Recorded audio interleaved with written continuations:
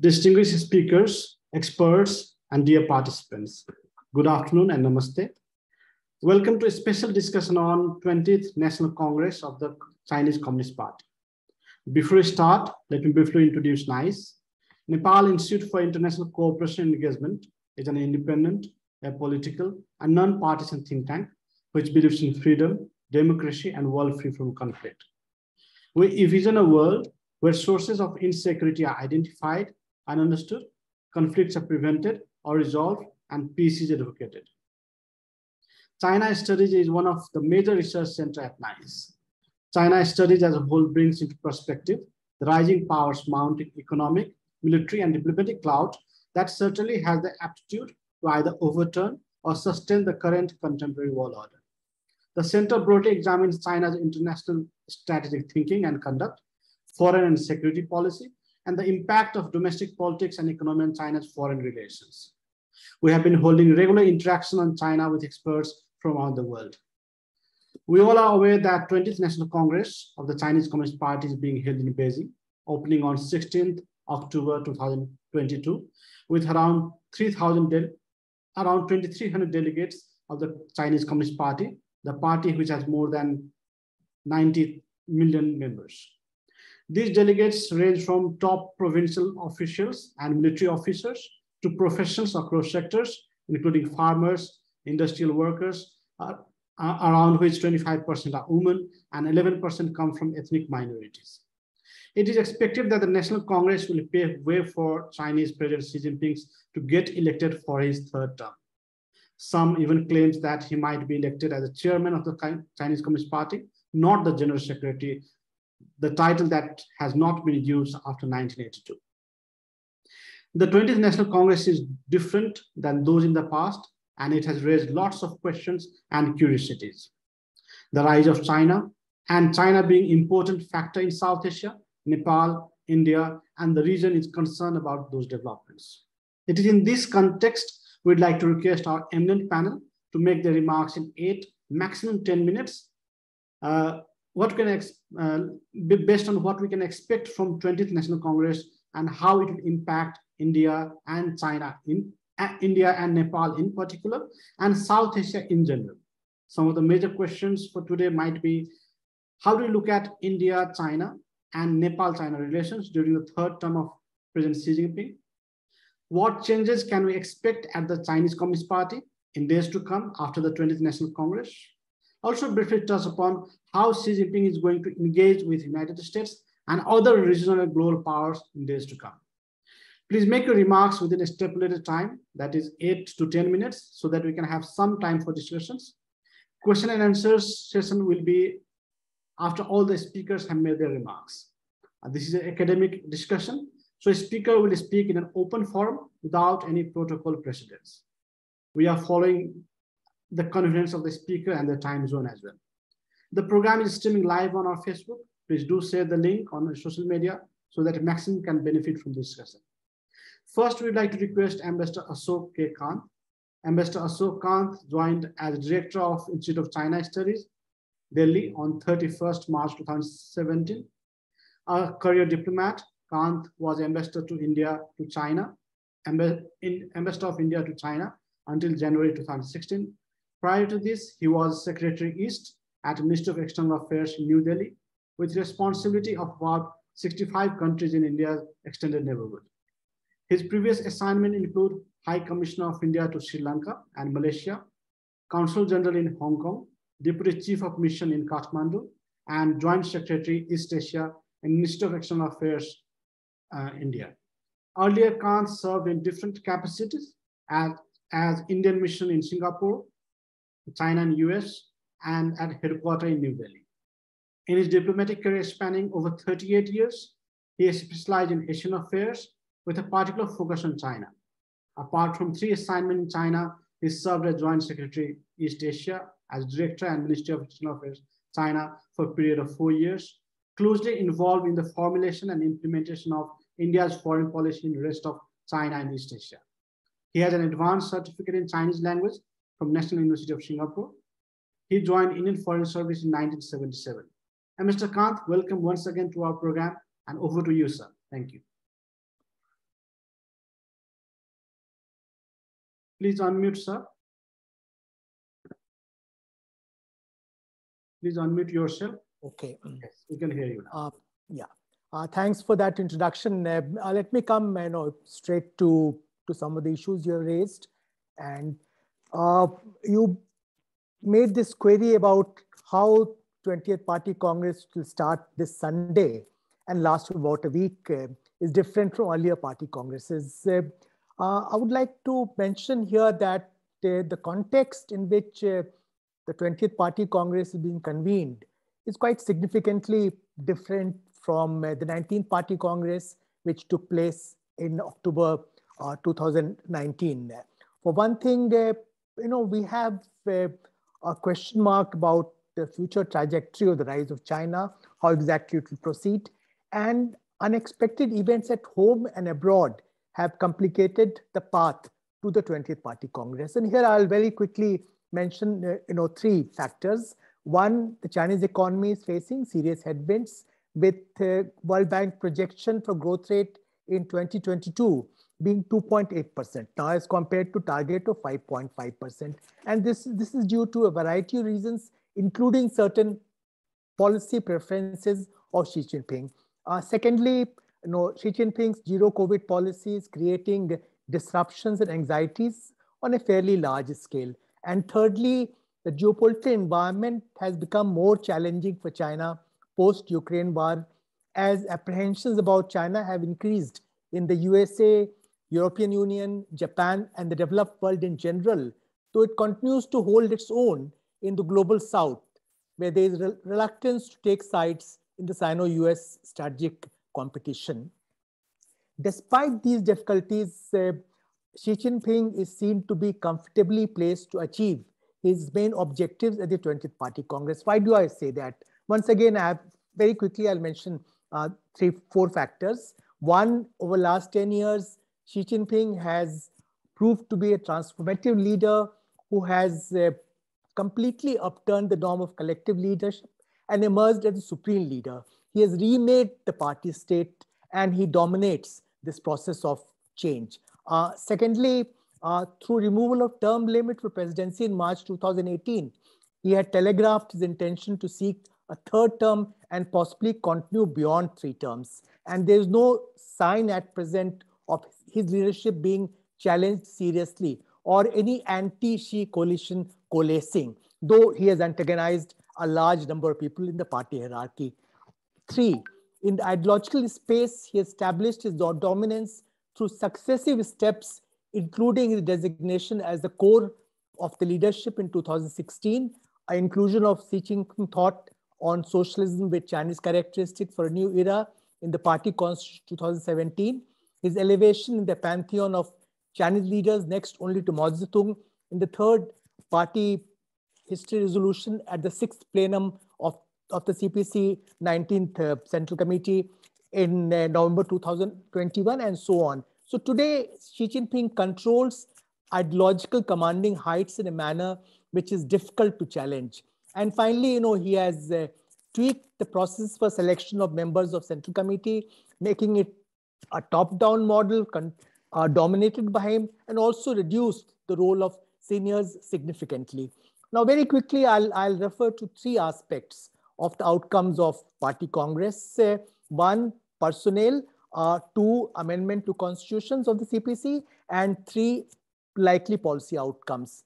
In all likelihood, uh, Xi Jinping will get a third term as supreme leader, uh, whether as the general secretary, which is more likely, or chairman, as uh, Pramod mentioned. But uh, on that, there's not much doubt being expressed at present. Uh, secondly, he'd like to secure a favorable composition of the Politburo, Politburo Standing Committee and other leading organs. Uh, already, in fact, he has put in place people close to him in various you know, party and state positions, uh, which shows you know kind of composition that will emerge out of the 20th Party Congress. Uh, and as I mentioned earlier, uh, you know, uh, you know, in terms of ideological commanding heights of both uh, party and state, uh, he will he he is likely to reinforce his position. we don't expect a successor to be identified uh, for uh, Xi Jinping. The uh, rest of the leadership lineup uh, is difficult to predict uh, given the you know, kind of opacity we have in the Chinese system, but there'll be greater representation of technocrats in leadership positions, are something which is going on for some time under Xi Jinping. Coming to amendments to party constitution, uh, it is being speculated uh, that you know Xi Jinping thought uh, uh you know for uh, you know uh, it, it will be you know the it's, it's fairly you know quite, quite a mouthful Xi Jinping thought for socialism in a new, with Chinese characteristic new era will be sort of made into something pithier like Xi Jinping thought are more in line with Mao Zedong thought. Uh, secondly, you know, the idea of two establishments, uh, uh, which refers to establishing Xi Jinping's status as China's core leader and establishing his political doctrine, which is enshrined in party's constitution 2017, may be incorporated as part of the CPC constitution. And there are some other possible changes which are being debated. Coming to policies, uh, uh, after getting his third term, Xi Jinping will be pursuing his legacy. We may not see any radical course correction in response to geopolitical and economic headwinds China is facing today. Because, you know, many of uh, developments are linked to very conscious policy choices uh, Xi Jinping has made. Uh, the bottom line is that uh, China will continue to seek to achieve its second centenary goal of great rejuvenation of Chinese nation, which includes uh, emerging as the preeminent power, China emerging as the preeminent power, displacing the USA. Uh, it will also pursue its uh, unilaterally defined core interests and territorial claims, uh, including uh, vis-a-vis Taiwan, uh, South China Sea, East China Sea, and along India-China borders in a, in a rather coercive manner. Domestically, uh, Xi Jinping's preference for greater emphasis on ideology, preeminence of the party, a greater role for the state sector, restraints on the private sector, selective decoupling to reduce dependence on the West, and a more inward-looking approach uh, will continue uh, as far as we can assess. But uh, we'll see greater focus on specific initiatives like common prosperity, global development in initiative, uh, global security initiative, hardening of position of Taiwan, uh, greater focus on national security and so on. But you know, these will be more in terms of incremental changes rather rather than shift in policy positions. And finally, you know, uh, it seems unlikely that, uh, contrary to speculation, some quarters uh, China will exit zero COVID policy after the party congress. Uh, that's not likely to happen in a hurry for a variety of reasons that we can discuss uh, uh, later. Uh, let me conclude here by saying that uh, uh, the scenario which is likely to emerge out of uh, the 20 party congress uh, in terms of personnel, in terms of uh, changes to CPC constitution, in terms of policy approach, will not make any big change in the larger picture as far as South Asia or no, countries like India and Nepal are concerned, because we'll see continuation of the present trends with some shift in emphasis, as I mentioned earlier. I'll stop here. Uh, thank you, sir. Uh, thank you so much, uh, Ambassador Khan, for your remark. May I now invite Professor B.R. Deepak. Uh, professor B.R. Deepak is Professor of Chinese and China Studies at Center for Chinese and Southeast Asian Studies, Jawaharlal Nehru University, New Delhi. He is recipient of many scholarship and awards, including the prestigious Nehru and Asia Fellow and India-China Ex Cultural Exchange Fellow for his doctorate and advanced studies in the Chinese Academy of Social Science and Peking University, Beijing. He is the author of India and China, 1904 to 2004, A Century of Peace and Conflict, published in 2005, India-China Relations, in first half of the 21st, 20th century, in, published in 2001, China, Agriculture, Countryside and Peasantry, published in 2010, Chinese Poetry from 11th century BC to 14th century AD, for which he won Chinese Special Book Award in 2011, India-China relations, civilization perspective, India-China relation, future perspective, and several others.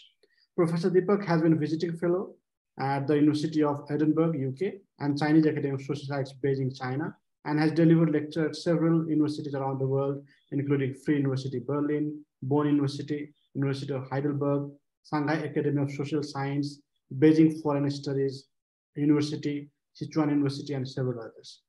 Professor Deepak, over to you, sir. Thank you. Thank you, uh, Pramod. Uh, with much uh, ado, let me straight uh, uh, go to the topic. Uh, if uh, I may use my Chinese phraseology in order to uh, uh, uh, show what I read out of the 19th, 20th Party Congress, I think first it is going to be Renmin Lingxiu, so that is people's leader. As far as economy is concerned, it's going to Renmin Jingji, uh, people's economy. Uh, as far as uh, foreign policy is concerned, I think it will remain uh, Waijiao, great power diplomacy. And as far as uh, India-China, uh, you know, uh, relationship is concerned, or India's place in China's foreign policy is concerned, though it won't be reflected in the party document, but still, since you have asked us to flag it out, I think it still remains uh, 小看印度 so that is continue to belittle India. So these are four uh, things uh, uh, I flag out first. And uh, in terms of uh, people's leader, uh, well, it is all about like so so what banners to hold and what road to tread. And I think it is going to be all the way, you know, banner and line up Xi Jinping's thought which uh, was eloquently elaborated by Ambassador Kantha. And uh, with this, uh, you know, so two more things uh, would be affirmed, or uh, in Chinese, they call it lianga weihu or lianga chueli. So that means to safeguard the core uh, leadership of the Communist Party of China, which of course is Xi Jinping. And the second is again to safeguard the uh, thought, uh, Xi Jinping thought, as the Ambassador Kang uh, has already said that it uh, may be included in the party charter, which they are doing it right now. You know, from 9th they have started, and the seventh plenum would be concluded on 12th.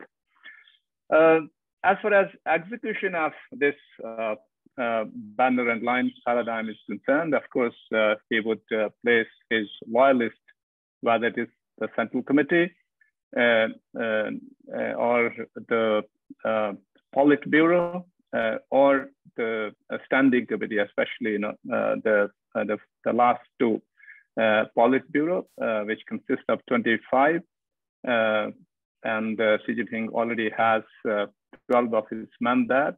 Uh, perhaps uh, more uh, from his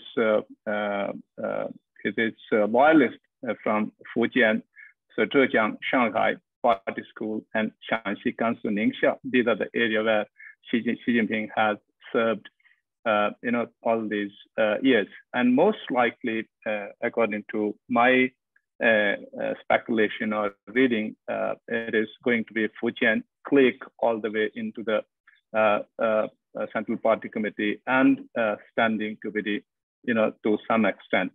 Standing Committee less because if we follow the convention, then of course only two people, perhaps Ding Xuexiang and uh, Li Qiang or uh, you can say Huang Kunming. So these are possibilities.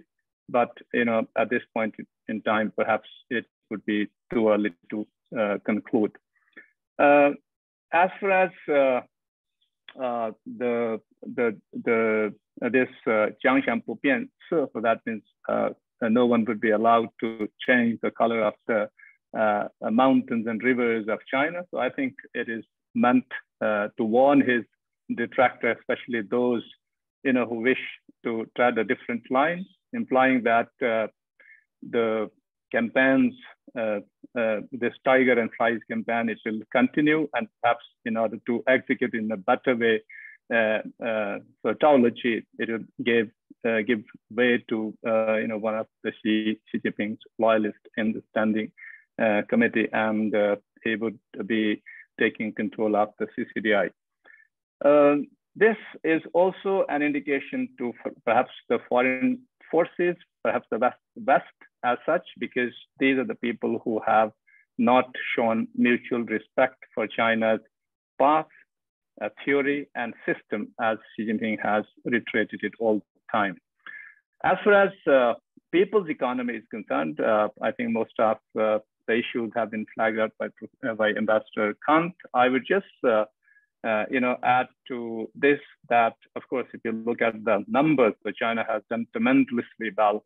Uh, China's GDP has been doubled uh, when it took mantle in 2012 from 8.5 to almost 18 trillion dollars, and that is also uh, uh, we need to take into account its poverty alleviation uh, program. but again, there is a contradiction, and I think this contradiction will continue, which was again flagged out during the 19th Party Congress, that is unbalanced and inadequate development. So this contradiction will continue to play. And uh, uh, uh, Li Keqiang has also, you know, uh, emphasized that uh, over 600 million Chinese people, so they, they, they that their monthly income is not more than 1,000 yuan. And it has also been revealed by the Chinese official figures that 0.14% of the Chinese elite, they account for almost 33% of the Chinese wealth. Uh, another thing which is perhaps uh, uh, important is the kind of investment China used to make in the infrastructure, including real estate sector.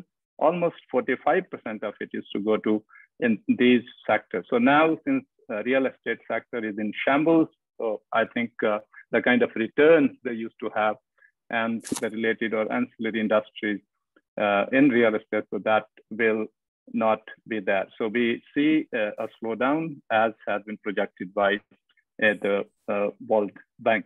And another thing is recent phenomenon of yuan depreciation that would also create trouble for uh, Chinese economy to some extent. Uh, it has uh, registered 12% depreciation this year alone. So the confidence uh, of the foreign investors that I think to some extent would also be shaken. And China's total GDP, as they have been talking about it all the time, it would also be impacted. As regards foreign policy, though it won't be clearly mentioned in the party document, but I think uh, the framework so it will continue to be, uh, be, be, be there. And that is the framework of uh, two pillars of China's uh, foreign diplomacy. So one is building uh, a community with a shared future for mankind as a body and uh, uh, the new type of relationship as the second pillar. And of course, the second, it has two flanks that of major power relationship and uh, the relationship with developing country, mostly the BRI, which will include you know, uh, all these countries in Southeast Asia and even South Asia. Um, so I think uh, uh, uh since uh, the new type of relationship, it demands you know, mutual respect, equality, win-win cooperation, especially to the first, West has been reluctant to recognize that. Uh, therefore, this ideological confrontation or debate, it will continue.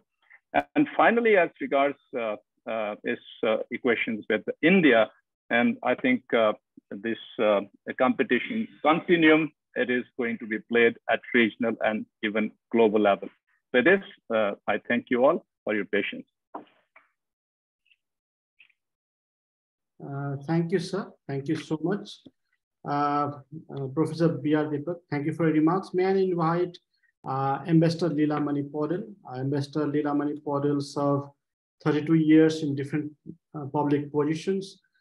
formerly, he served as the Chief of Secretary of Government of Nepal, Nepalese Ambassador to China, Secretary at the Office of Prime Minister and the Council of Ministers, Ministry of Home Affairs, Ministry of, Ministry of Information and Communication, and the Ministry of Culture, Tourism, and Civil Aviation. He has served as Consul General of Nepal to Lhasa for China, Currently, he is engaged in social activities, including cleanup campaign of rivers, uh, talk shows at different occasions and all. He holds master's degree in business administration from Tribhuvan University, Kathmandu, and he has been showing general interest in philanthropy, traveling, yoga, and meditation. Over to you, sir. Mm, uh, thank you, Pramodji. Can you hear me? It's okay? Sound? Yes, sir. We can hear you clearly. Okay. Thank you, Pramodji, for organizing this uh, program and inviting me to share some of my views. Um, uh, first of all, let me uh, directly go to the uh, subject matter. The 20th People's Congress is uh, being held uh, in such a time period, which is significantly uh, different than the previous one, that, that was 1927. As earlier speakers also highlighted, I would like to flag on those uh, points once again. In uh, 2017, uh, when the 90th Congress was being held, at that time, um, the people were speculating about the uh, leaderships and the, uh, although there were uh, some speculation that the Xi Jinping uh, will uh, um, get some sort of the amendment in, in, in, the, in the party constitution uh, for the continuation of its uh, third term. but there was a lot of speculations that who is going to be elected or selected as a, as a leader, top leaders, including the party standing committee and central committee and and the and the Politburo. Uh, but this time, um, uh, this debate is not there in the in the in the platform. I, we we uh, can pretty uh, predict that the Xi Jinping will have the third term uh, without any any challenge, uh, without any obstacles and hurdles. This ground has already been prepared from the previous party congress by amending party constitution and the later on in the, in the, um, uh, uh, the uh, government's constitution as well in the uh, People's Congress uh, held after that. Um, therefore, that uh, the the National People Party Congress has two mandates basically. One is to select leadership, and then selecting leadership is quite plain at this time. Although there will be an election for the 204 member, uh, very powerful uh, uh, party central committee members we will elect the standing committee as well as the um, Pali Political Bureau and, and, the, and the select the leaderships. But particularly leading party from the top as a party secretary general or probably as a chairman, that is quite clear that President Xi Jinping will have no contestant as or other, other contestant as well is there. Um, um, that is the leadership selections. But uh, considering the uh, the um, country's overall um, picture scenario and the and the international scenario, it is significantly different. Uh, first, uh, um, since 2017 now, the global uh, um, politics has been uh, significantly um, uh, become extraneous and the and the divided, polarized, and the uh, conflicts are abound, and the even that there is a war, the Russia and Ukraine origin war. There is no sign of uh, immediate uh, um, that conclusion of that uh, war or the immediate sign of stoppage of any war, and then still there is a very speculations are there would there would be threat of of being a a war converted into nuclear war or the third world war. Um, that's why the global scenario is highly volatile. And the um, China's uh, um, um, relationship with the with the uh, uh, developed world, particularly first world, um, is uh, much more intense, much more frictions are there, and then intensified their um, um, kinds of the conflicts is intensified, significantly intensified than the 2017-19 Congress time. Um, uh, uh, there was a trade embargo after the 2017 uh, uh, Congress, uh, 2019 uh, 19th uh, Party Congress, the restrictions on China's investment on technologies, banning on China's critical supplies, mm, in critical input material supply of materials like microchips, and to Chinese industries and restriction on Chinese using technology like that 5G, even that uh, detention of the high officials of tech firm uh, to humiliate and harass China's investors globally, that has taken place after the 2017's uh, 2017's Party Congress. Um, uh, particularly the uh, Western countries, the developed world, uh, the China bashing is going on unabated. Uh, like that, there was a Hong Kong uh, um, um, uh, in a kind of a, rift and riots last year. And the Taiwan provocation is going on continuously. The recent very senior officials visited US officials visited Taiwan and the further instigating the, provocating the, the, the uh, strenuous relationship uh, between West and China on the issue of Taiwan.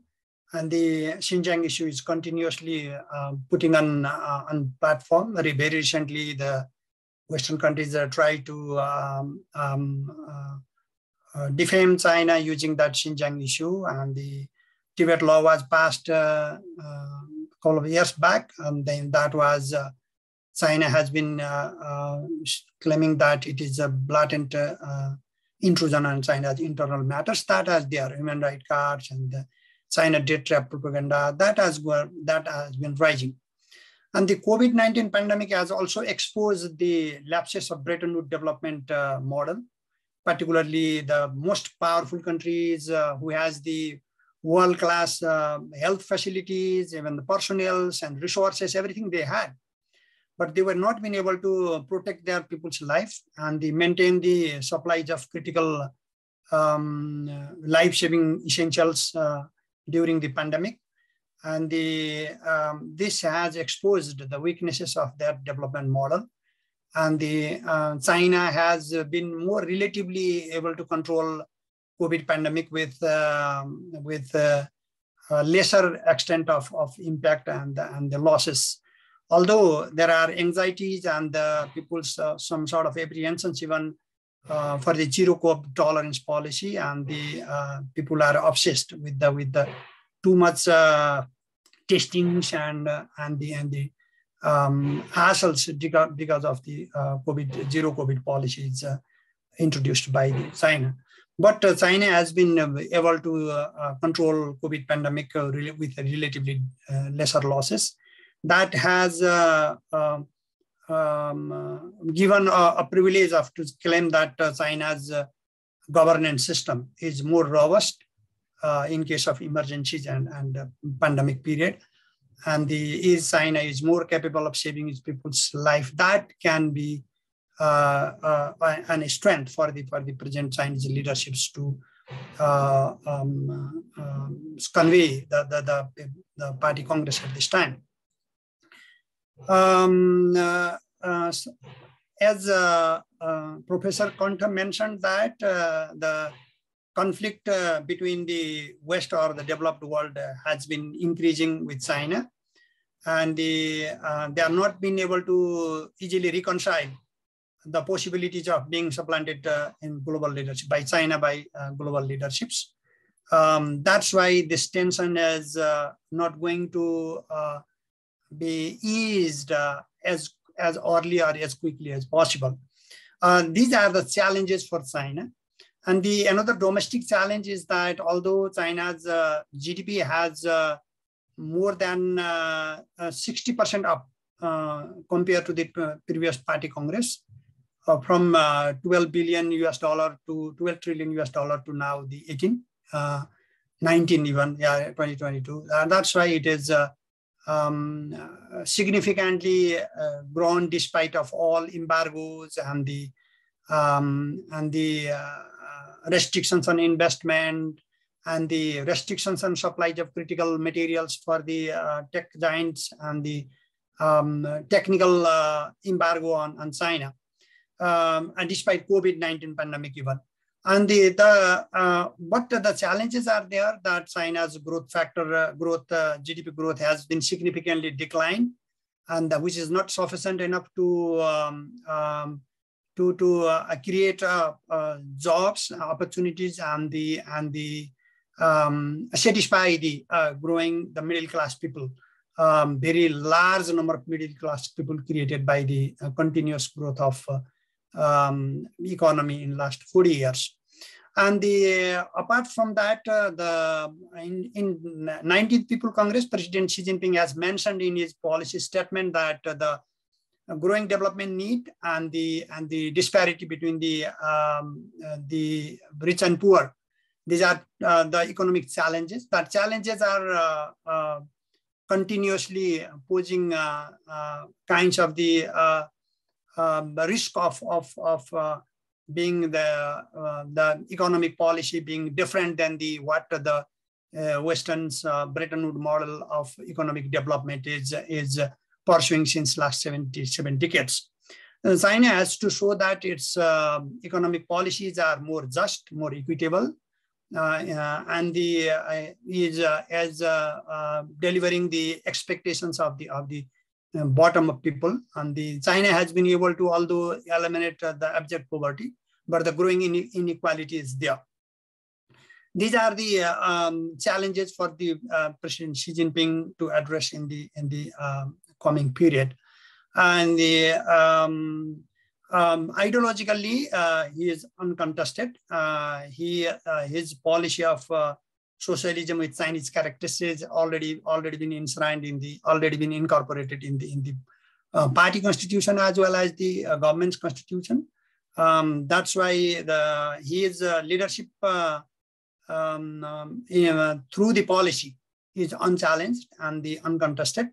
Um, he will uh, continue command as a as a um, ideological leader to the party. Um, but uh, that uh, he has to realize uh, the, the uh, uh, two goals that uh, um, internally um, the eliminate the, I mean that reduce the gaps between rich and poor and the uplift the, uplifting the very large number of um, abject poor people out of poverty trap um, that was a great achievement, but uh, the sustaining that is also equally challenging. And then not only sustaining, continuously uh, boosting their incomes uh, and the uh, reducing the gap between the bottom strata of the people and the higher echelon people is a, is a, is a big challenge. And he has to continuously pursue that uh, policy through his uh, co- kinds of a leadership that may be selected in, the, in the forthcoming party congress. And internationally, he has been uh, uh, basically articulating three, uh, um, uh, three policy um, paradigms, particularly uh, global security uh, initiatives and global development initiatives. And the third one is the community of shared future for mankind. Um, this has to, he has to work together with the developing world, including India and Nepal, and the other other developing world, African countries and uh, South Asian countries, and the uh, in the in, in kinds of the conflict, their kind of growing conflict with with the uh, um, the uh, first world, particularly the developed world. Um, I'm talking about the its implication on uh, in South Asia, uh, particularly talking about Nepal. Um, he has been since he was in power, he has been continuously giving priority to the neighborhood and the, for Nepal, he has given uh, a lot of uh, interest and emphasis on the Nepal's socio-economic transformation and trans-Himalayan multi-dimensional connectivity network. That, uh, that uh, development framework has been agreed uh, during his, his tenure. And uh, he, his neighborhood friendly policies has um, a lot of um, minds-made development opportunities for the country like Nepal uh, in its uh, uh, socio-economic development and uh, cultural aspects, particularly uh, global uh, security initiatives he has proposed. Um, that is a collective security of, of the countries in, in the globe and the region as well. That's why Nepal also um, need to um, uh, Um, um, pin down its its its uh, uh, interest on particularly on the security fronts. That is, the Nepal has no any any uh, any any security alliances with any other countries, but uh, there are certain uh, core interest uh, security interest of our neighboring countries, and the Nepal has to particularly sensitive enough and to avoid of engaging on any kinds of the activities that will kinds of the jeopardize or the infringe the uh, uh, core security interest of our neighbors, both the neighbors. Uh, that applies China as well. On, the, on that uh, front, and the Nepal has to uh, close work closely together with China. And the uh, our cooperation particularly will be focused on, on development aspect. And the China has been uh, his foreign policy will be not much paradigm shift, particularly regarding the neighborhood policies um, about uh, India and Nepal. Um, I think he will continue to pursue uh, friendly policies and then ease out the tensions with India um, uh, because of the growing uh, in, uh, differences with the, with the Western worlds. Um, and the, it depends upon the how that both the countries will be able to mend their differences, uh, particularly the border issues.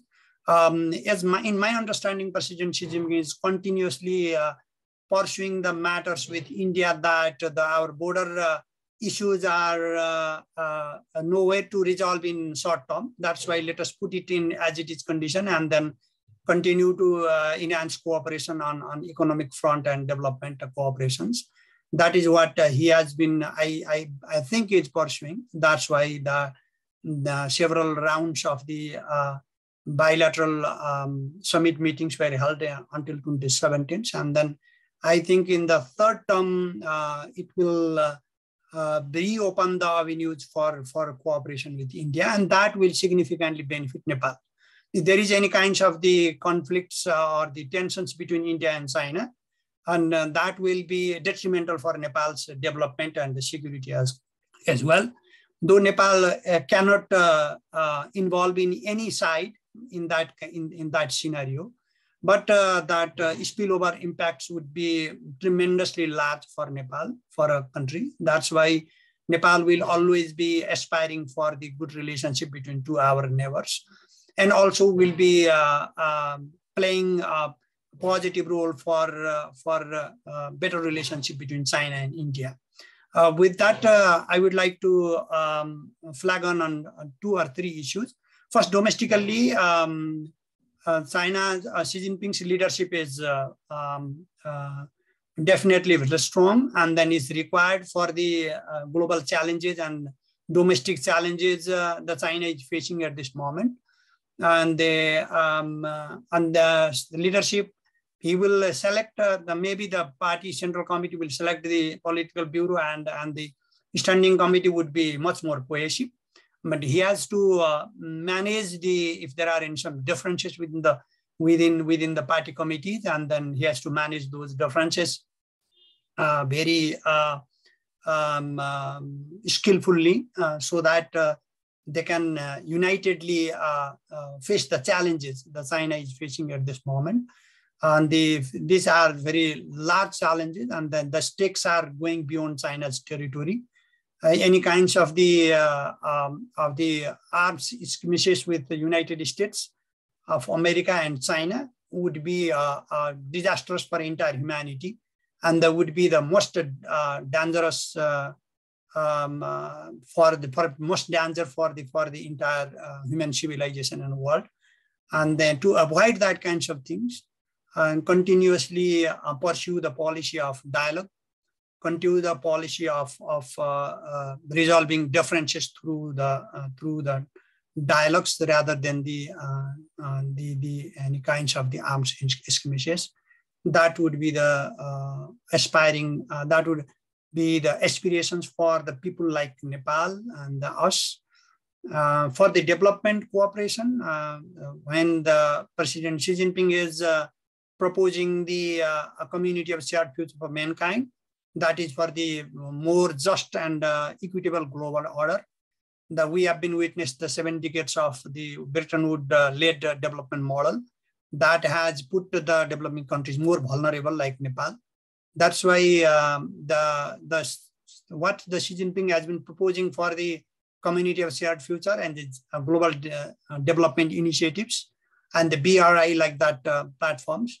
We, we expect that uh, such policies uh, would uh, bring in more opportunities for a country like Nepal, um, socio-political transformation and um, solving people's, resolving people's aspirations for better life. Um, with this, I would like to say thank you. Uh, thank you, Ambassador Leelamani Paudyal, for your remark. May I now invite Dr. Rityusha Mani Tiwari. Uh, Dr. Tiwari teaches at the Department of Political Science, Sahid Bhagat Singh College, University of Delhi, and is currently an honorary fellow at Institute of Chinese Studies, New Delhi. She has been assistant editor of China's Report, and she holds PhD in Chinese Studies from Jawaharlal Nehru University, New Delhi. She was the recipient of the Visiting Fellow Program of Young Sinologist in 2017, awarded by the Ministry of Culture, People's Republic of China, and the Chinese Academy of Social Science, Beijing.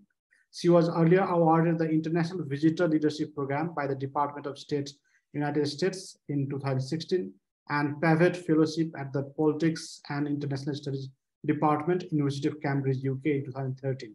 She was a visiting scholar at the Shanghai Academy of Social Science, Shanghai in 2012, and a visiting researcher at German Institute of Global and Area Studies, Hamburg in 2009.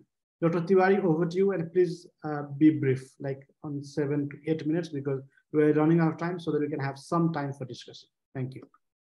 Thank you, Pramod, and uh, thank you for having me on this platform for this discussion. I'll uh, try to focus on one specific question, which is uh, factional politics notwithstanding, what would be the composition and character of new Politburo Standing Committee. Uh, the Politburo is a self-perpetuating committee. Uh, it is it is a kind of amaranthine entity with new members of the Politburo and Polit uh, Standing Committee being chosen by the internal consultation between active Politburo members and retiring PSC members. So the National Congress formally elects pre-selected member in a sense, and uh, the implication of the composition of this top leadership is very crucial in terms of decision-making bodies uh, because it demonstrates the political influence that Xi will continue to to have and along with his allies will continue to wield. And how much of the support does the president enjoy on certain viewpoints uh, such as preferences for stronger state intervention in the economy is very contingent upon the composition of this uh, particular uh, politburo standing committee. Uh, so if we see according to the 7 up 8 down uh, convention that has been followed since 2002 um, we know that the age gap the the gap, uh, the age, uh, particular reappointment at age 68 years or older cannot uh, be given and one cannot retire before 67. So if we follow that kind of a seven up, eight down formula, we know that despite the presence of many factions in the current Politburo Standing Committee, um, the four PSC members, Li Keqiang, who's 67 years, uh, Wang Yang, who's 67, uh, Wang Huning, who's 67, and then Zhao Leji, who's 65, should continue if this kind of a norm is followed. And uh, uh the uh, the other two who's uh, like Li uh, Zhanshu and Han Zheng who are 72 and 68 uh, uh, respectively they should retire which would basically empty up to Politburo Standing Committee uh, positions. Now, the two members who are most likely to come to those two empty positions is uh, Hu Chunhua and uh, Chen Min'er, uh, who are basically most qualified in terms of uh, their equation with different factions as well as the fact that they have a lot of work experience um, to hold these uh, uh, positions. But at the same time, we know that there are other front runners. And uh, uh, uh, for instance, Liu He, who's another member of the current PB who heads the center government's financial stability committee, he's also a front runner. So one is, so the question really is, will Xi increase the number in the PSC to accommodate more of his own? Will the current number of seven be, you know, increased to um, say nine? Because there have been two experiments in the past in terms of PSC membership. In 2002, the membership was increased from uh, seven positions to nine, and in 2012, it was decreased from nine to seven. And uh, that kind of a readjustment has been done in the size of Polit Bureau Standing Committee, uh, given the fact, uh, given given the kind of situation that China would face um, internally as well as domestic, uh, externally. So um, in my reckoning, a status quo of seven members is likely to kind of continue at this particular juncture even though it would mean that half of the Politburo committee, uh, standing committee, would actually be made up of uh, the other faction other than the uh, faction of Xi Jinping, which is the Tuanpai, uh, Wang Yang, Li Keqiang, and Hu, if they are retained in the Politburo standing committee, and only two apparent Xi allies, Chao and Chen. So uh, this kind of a, a, composition would retain if there is a, a stance in favor of stability and uh, a stance in favor of status quo in, in terms of how the composition of uh, PSC is maintained.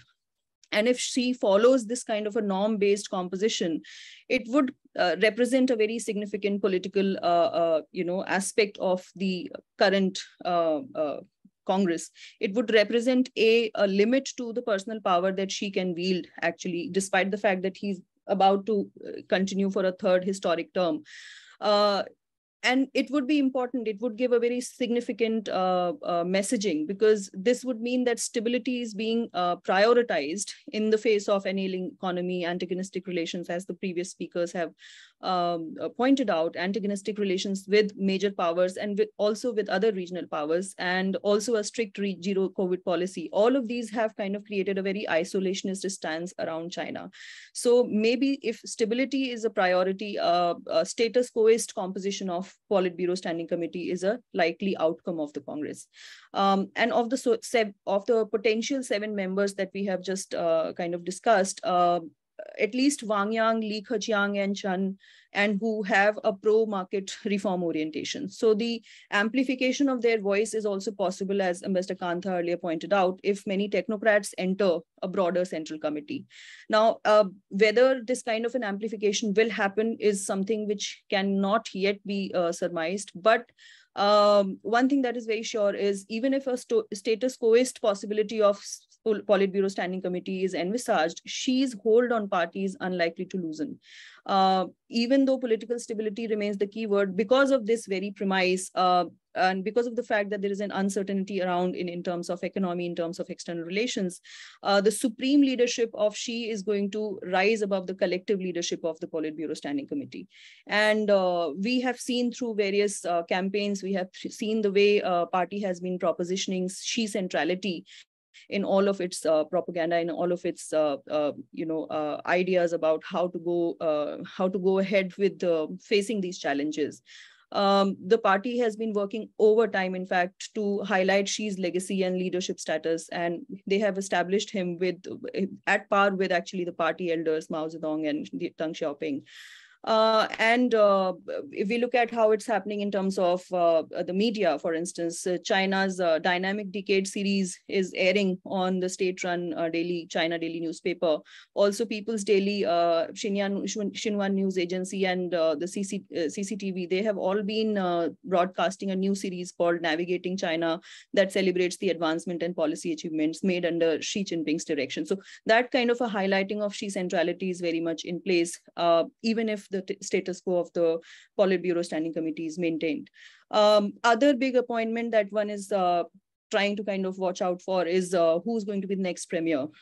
Li, Keqiang has declined to serve another term as the state uh, council's premier, um, and which gives way for Xi to appoint a close ally as the next premier, even though none of the Xi's apparent PB allies have any kind of prerequisite experience in that sense uh, and Hu Chunhua, who's again a front runner for that particular post, uh, who's also one of the possible two possible replacements uh, for PSC, um, is there. Despite that uh, option being available, Xi may just prefer to uh, bring in the elderly Wang rather than Hu, uh, because then that would mean that you don't really initially bring in a very you know relatively younger charismatic leader so in such a scenario uh, the two new members who if given entry in uh, the politburo standing committee hu and chen they may be positioned as the future leader for 20, 27 or 28. Um, however, Xi may prefer to keep a door open for a fourth term for himself, in which case party is unlikely to resolve the uh, succession issue at this particular uh, National Congress. And uh, as a result, we might see uh, ensuing uh, potential successors as rivals in the in the course of next four four years. So, um, and finally, I'll uh, end with this particular point. What could be the takeaways for the region and also the world from this particular party congress? In the context of foreign affairs, again, I'll focus on the way you know composition is being readjusted. Um, Yang Jiechi, the director of the party's Central Committee Foreign Affairs Office, is widely expected to retire. And uh, Liu Jieyi and Wang Yi are the two likely candidates for this post. And out of these two, if you look at Wang Yi, he supports a tougher foreign policy stance.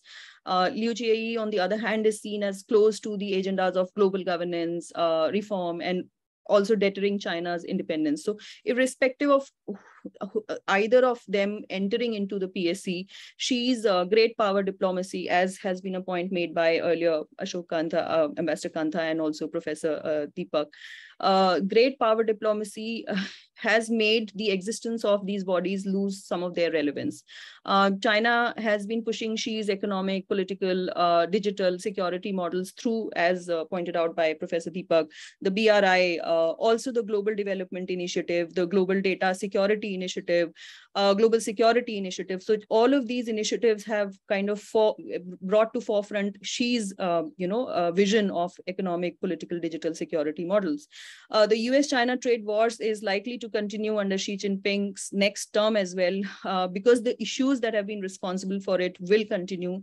For instance, US uh, export restrictions on China or uh, the ban on Huawei and other Chinese companies working on 5G technologies, such as the ZTE, etc. The supply chain issue, um, which arose in the wake of pandemic, all of these are because they are going to continue, they're going to continue well into Xi's next term as well. Uh, while China's reputation has suffered in the West and also to an extent in the region, uh, growing middle powers and smaller countries still see China as a, a very important bulwark for any kind of economic recovery post pandemic. Uh, given that kind of an expectation from China, um, I think the task for the new uh, PSC and also Xi Jinping is going to be uh, difficult because I have a feeling that most of their attention is going to be focused on domestic issues. Uh, so domestic issues are likely to take precedence over any kind of external, uh, uh, you know, uh, new objectives. So in that sense, external uh, relations and uh, foreign policy of China is also going to kind of follow the status quo that it has till now. I'll rest with that and I'll maybe expect more questions. Yeah. Thank you. Uh, thank you, Dr. Tiwari. May I now invite Mr. M.V. Rappai. Mr. M.V. Rappai is a security analyst based in Delhi, focusing uh, on Asia's strategic issues.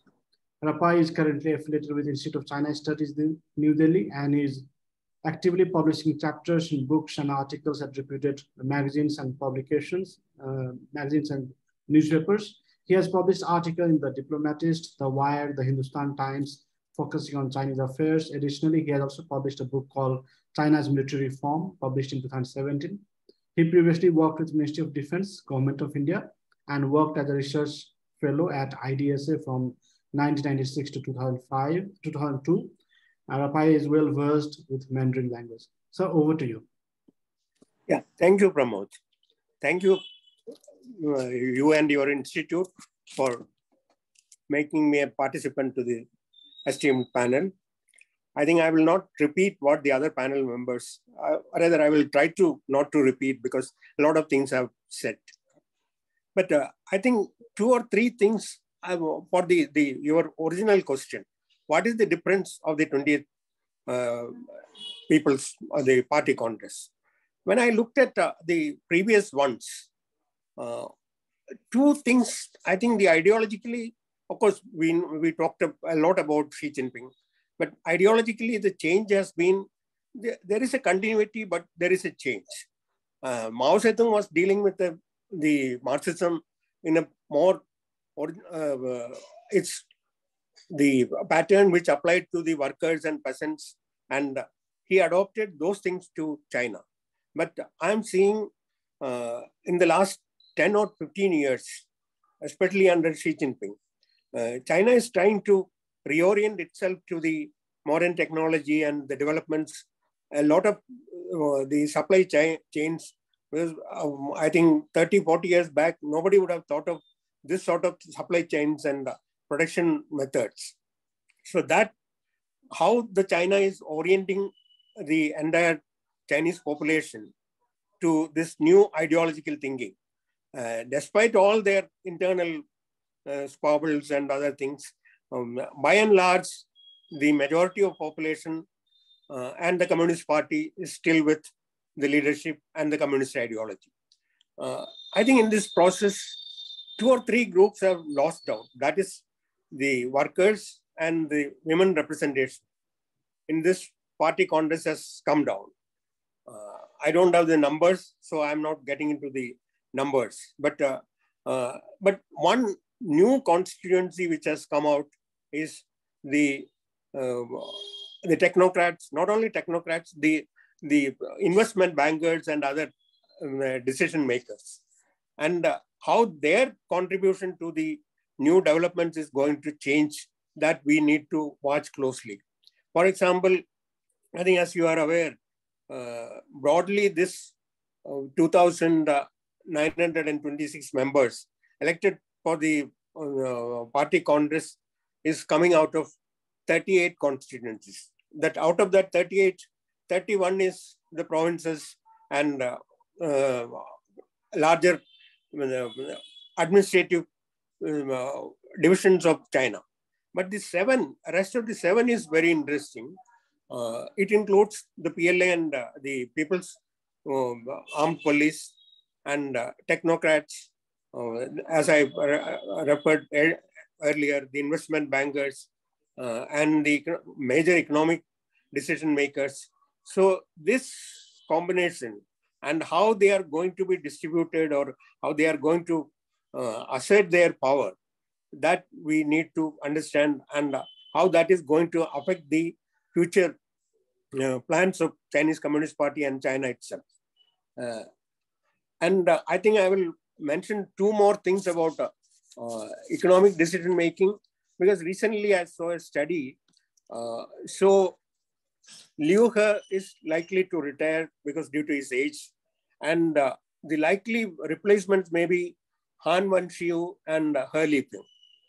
Uh, so what will be there? Um, there may not be uh, no dramatic changes in the economic policy, but how they are going to adjust to the new changes.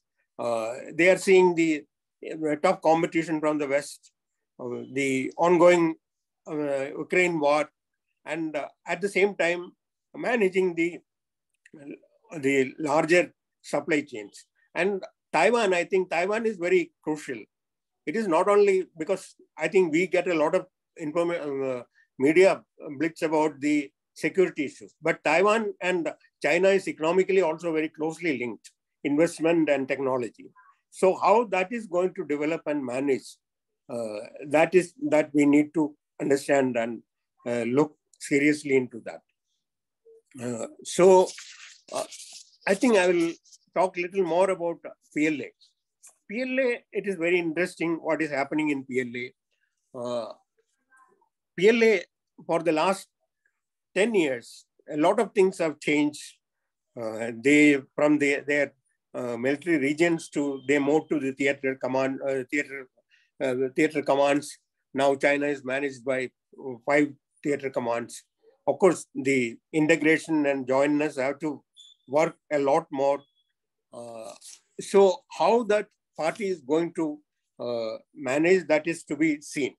But the likely leadership of the PLA, that uh, who will be the members in the PB and uh, who will take over as uh, defense minister and chief of staff, uh, I think those details I am not getting into, but uh, the four likely people who are to be key to this succession is General Lin Xiangyang.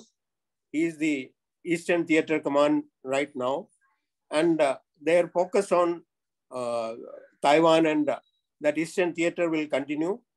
Then the next is uh, General Liu Zhenli, who is PLA Ground Forces Chief.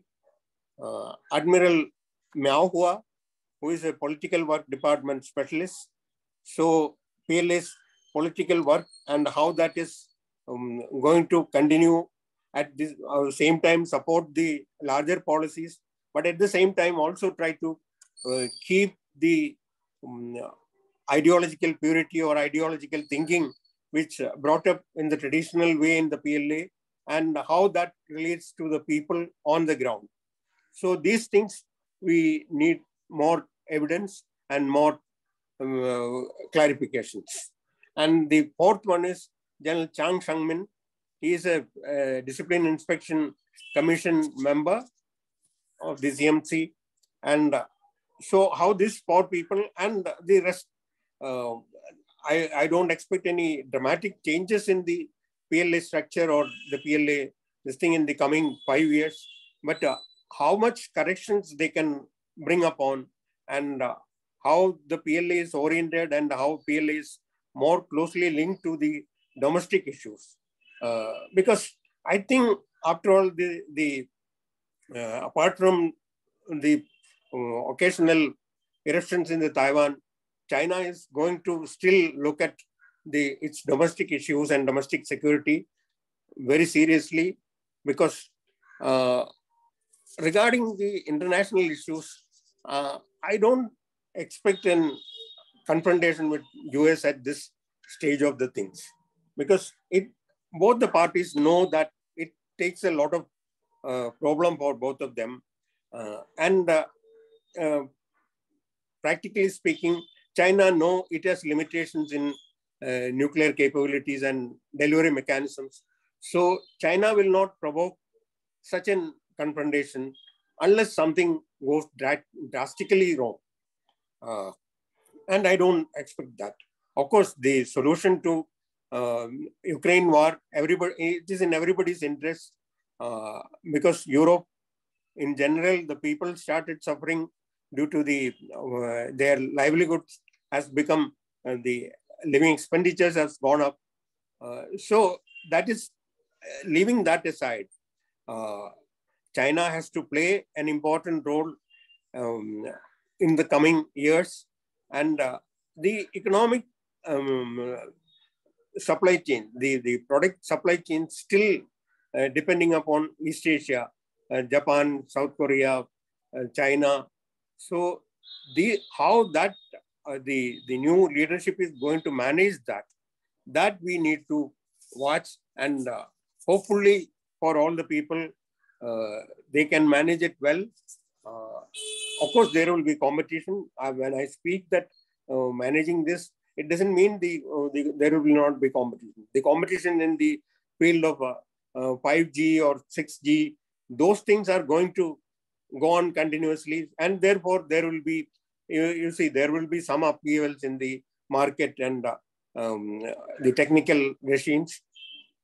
But uh, coming back to the party congress, the uh, Rityusha was talking about uh, only two changes, but I don't know. The Politburo Standing Committee, Li Keqiang, as he has already clarified that he will not stand for a, a third term in the as premier. Uh, more likely that he may leave the uh, his Politburo Standing Committee membership also. So then who will be replacing that?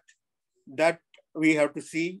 And uh, uh the overall policy overall economic well-being and uh, the, the global development uh, program and the global initiatives um, uh, Xi Jinping is talking about. But till now, we haven't seen any serious thinking and serious work behind that.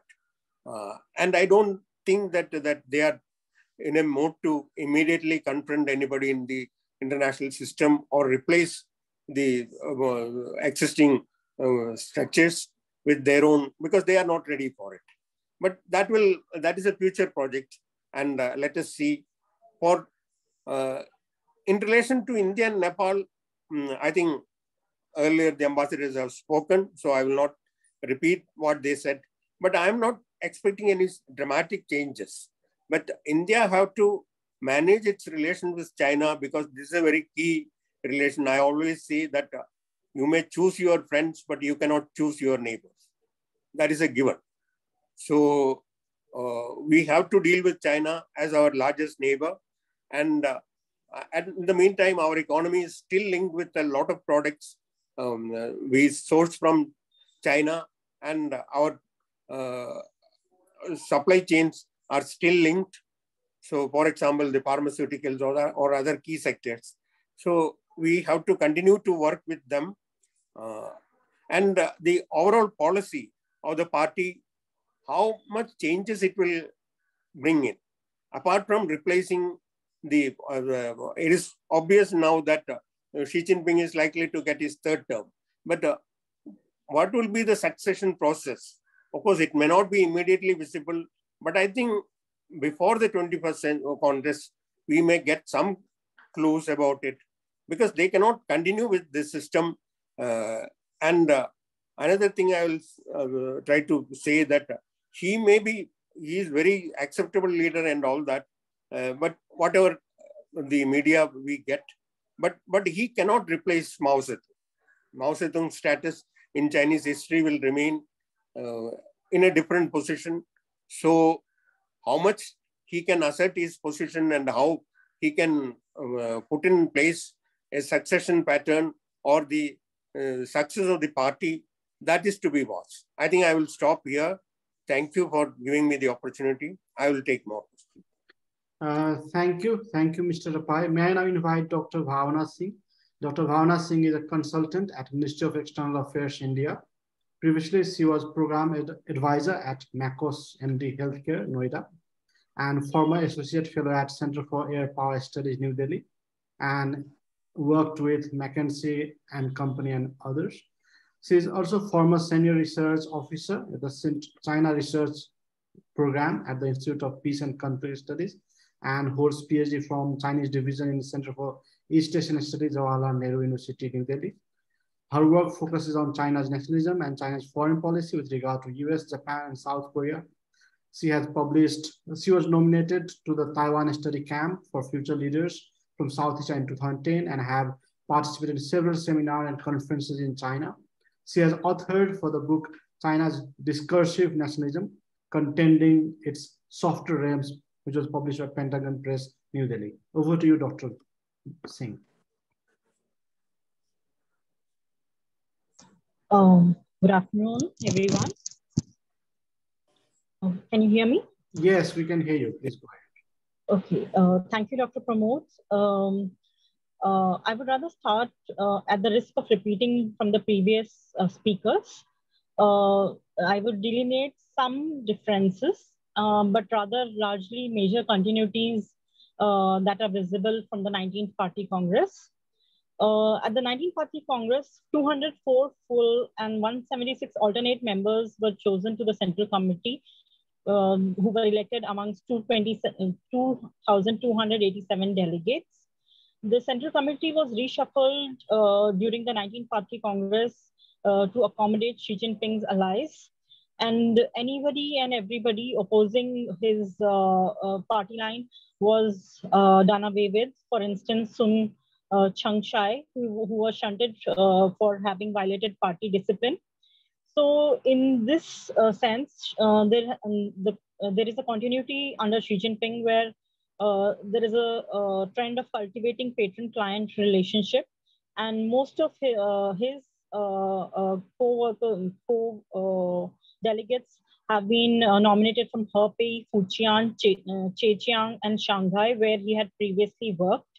Uh, so uh, it, even in the 20th Party Congress, it is expected that uh, largely Xi Jinping's uh, clique will dominate. Uh, the party under Xi Jinping has shown uh, increasingly less tolerance for factionalism. Uh, most of the parallel power centers, like the Ling, like Ling Jihua and Hu Jintao's clique, along with the CYL, has been marginalized. Uh, the 20th party, uh, 20th National Party Congress is, however, special given the so complex set of external and internal pressures that China faces today. Uh, I would delineate four, four or five of them here. First is its relationship with the US, because uh, uh, because of its relationship with the US, China has been seen to China's opinions in the international arena seem to be more precipitously negative. second is it the rising tensions in the Taiwan Strait, though uh, China is unlikely to go for the military option unless and until it feels strong enough to take on the US. Uh, so, uh, but there's still going to be uh, an attempt to unite uh, uh, the island uh, since there is a particular timeline that Xi Jinping has set for himself in terms of national renewal. So uh, there are some rumors that uh, Xi Jinping is likely to uh, try and acquire Taiwan by 2027, since that would be a very uh, particular, very significant stage in his reign as a president.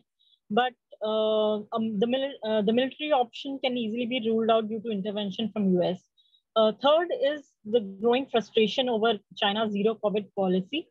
Uh, uh, COVID has not only dampened the spirit of achieving the Chinese dream by the, uh, the by the set date of 2021, when at the centenary of CPC they had wanted to in, wanted to kind of say that China has literally arrived. But uh, COVID has been a dampener in this spirit, though it has affected almost uh, the entire uh, globe uh, at the same level. But still, uh, since uh, um, Xi Jinping had almost given up the dictum of biding its time and announced China's foreign policy for at the forefront, uh, so you can see that uh, there is a growing frustration uh, in, in, the domestic arena over its zero COVID policy. Uh, fourth is the stalling economy. Rural employment is at an all-time high, and there have been business have shut down, and uh, the uh, supply chains have been disrupted uh, at a uh, huge level. So there is a rising. Uh, there is the economic growth has also been hit, and it is on the World Bank has predicted that uh, in the coming uh, year, uh, uh, the Chinese growth can be scaled down from 5% to anywhere between 2.8 to 4.6 this year. So there is a huge uh, uh, dent which has been made to the Chinese economy due to COVID. And the fifth is the Ukraine factor. though this is outside of domestic issues, but the Ukraine is, the Ukraine factor is important in the sense of Chinese relationship with Russia. Because so far China had looked for, towards Russia for imitating how the uh, how not to let the CPC down. They had uh, intensely studied uh, how the fall of the Soviet Union to avoid the mistakes that had led to uh, Soviet Union's downfall. Uh, and in this sense, you they uh, they have uh, uh, they have in, in fact requested the international community to come, come in favor of uh, Ukraine and not, mm, not allowing Russia to continue its war there. So the, the relationship with Russia can be seen the, there might be some frictions there as far as China's relationship with Russia is concerned. So these four or five factors are going to define uh, how he presents his uh, policies at the uh, 19th party uh, at the 20th party congress there could be uh, there could be uh, an emphasis on ideology and there could be a lot of invocation of history to serve the present as the agenda would continue to be party discipline uh, Xi Jinping's rise had been basically it ha- he had written on the anti-corruption drive and to achieve the four comprehensives of uh, well-off society, deepening reforms, promoting rule of law, and, and enforcing strict party discipline. But uh, these have been now uh, uh stalled to a, a, certain level because those who have been asking for reforms, and there is a, a certain faction which has actually said that reforms are very, very necessary at this point of time. But Xi Jinping has had to uh, silence them, and some of them have actually disappeared from the front. Uh, because uh, uh, reforms do not seem a plausible way to go about re, replenishing the economy that has been that has been disrupted by COVID. Uh, however, he continues to determine to push his reforms in terms of common prosperity. Uh, uh, it's not exactly clear as to what this means, but they have not decided to dispossess the rich of their property or the landowners from uh, contributing uh, uh, in a major way. But this would largely mean uh, that uh, Xi Jinping had set a, poverty alleviation and um, basically giving a larger scope for play to the masses of masses in China. So uh, in terms of foreign policy, I think we could see a more assertive China in uh, uh, in response to how uh, China's rise has been stalled because uh, BRI was his uh, uh, pet project, but there has there is rising setback in BRI, and most of the countries that had actually signed in on the memor MOUs in, for agreeing to the projects have actually backtracked and uh, as far as most of the uh, countries in China's neighborhood are concerned, they are actually asking for uh, grants and aid instead of instead of China giving them loans. So uh, the, uh, the BRI is facing a huge backlash uh, in terms of being, despite being Xi Jinping's pet project. And there are now speculations that the BRI is somehow being overhauled under the Global Development Initiative. Uh, so uh, it, it would be kind of a remolding as well as uh, somehow drawing attention away from the BRI uh, to be able to uh, place China in a better uh, position as far as global development is concerned. However, there are certain um, trend reversals that can be expected as far as the Politburo is concerned. Uh, they could retain the num seven, the number of seven, or uh, there could be an increase in the Politburo members. Uh, if there is a uh, if there is an increase, it could indicate loosening of Xi Jinping's control over the Politburo to accommodate uh, Uh, China's uh, uh, uh, uh China's impending necessities. But if there is a retraction of the Politburo, which means if it is cut down to four or four or five, it could in fact mean that Xi Jinping is gaining more control over the Politburo. So this is one trend that could be uh, uh, outlined right now. Uh, secondly, the uh, party elders' influence is seem to be dwindling, uh, even though there were a few instances in the media that the party elders kind of rebuked Xi Jinping for the for the backlash that China is now facing. one particular instance was Xu Zhangrun, a law professional uh, at the Tsinghua University in Beijing took a big risk in denouncing Xi's hardline policies and revival of communist orthodoxies because uh, the, they feel that there is a general anxiety in the population and there is a sense of panic, uh, which has led to criticism at home. And there is there are some criticism also at, on uh, WeChat groups and uh, in the local media, though there has been attempt to silence them as well. Uh, uh, she, uh, the, there is also backlash against Xi's foreign policy as, with respect to the US, as that as there is a perception that China could have avoided confrontation with Trump, and much of economic disruption could have been avoided. there are three important uh, uh, measures to look forward to in the 20th Party Congress. First would be the structural changes uh, even though Xi Jinping is likely to retain his loyalists. Second would be the uh, new policy agenda which he might set in his work report. And third would be the personal changes that he will highlight. Uh, however, there are certain lapses uh, that can be identified. For example, uh, China had uh, uh, set the target of reaching, of achieving national rejuvenation by the year 2021, which was supposed to be the centenary of the CPC. So uh, the big task in front of Xi Jinping now is how he manages to build the consensus uh, about his policies uh, and uh, try and avoid discussion on the lapses that have happened uh, despite uh, giving his best. as far as the question of succession is concerned, I think it's best to leave it to posterity because uh, Deng Xiaoping was not exactly chosen by Mao and uh, Xi Jinping was himself a surprise candidate. And I don't think uh, uh, he is in a mood to uh, uh, announce a successor uh, since he intends to intends to strengthen his control over the Politburo. I think I would rest with that. Thank you.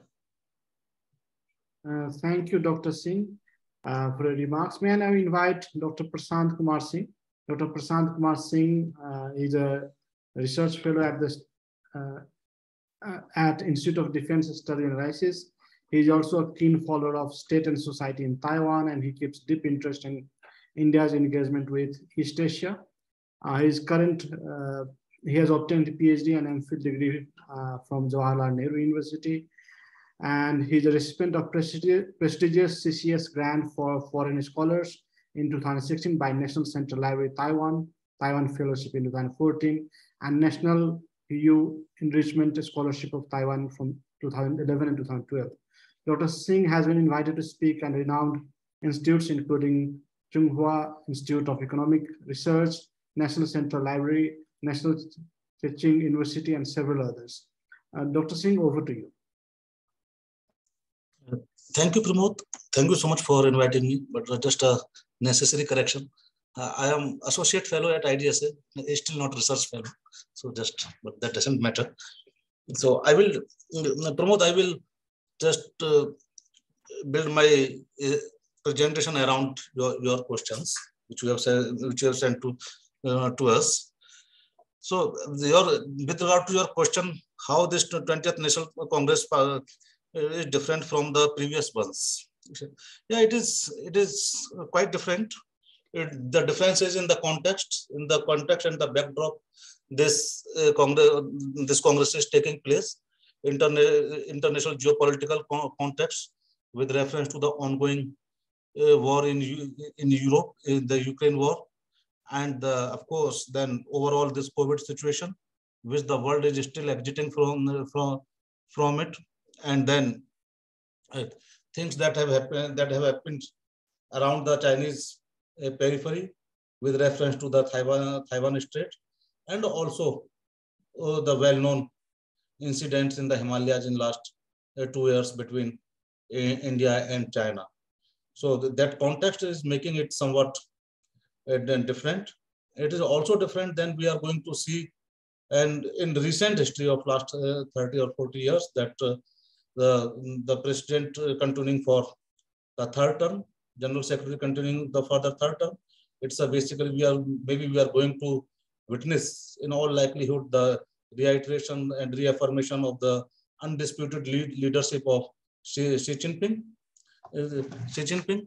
And this is also uh, somewhat different because we are going to witness exactly what is the state of collective leadership in uh, China now, basically with reference to what other uh, esteemed fellow speakers have pointed out towards the uh, composition, the likely composition of the Politburo Standing Committee.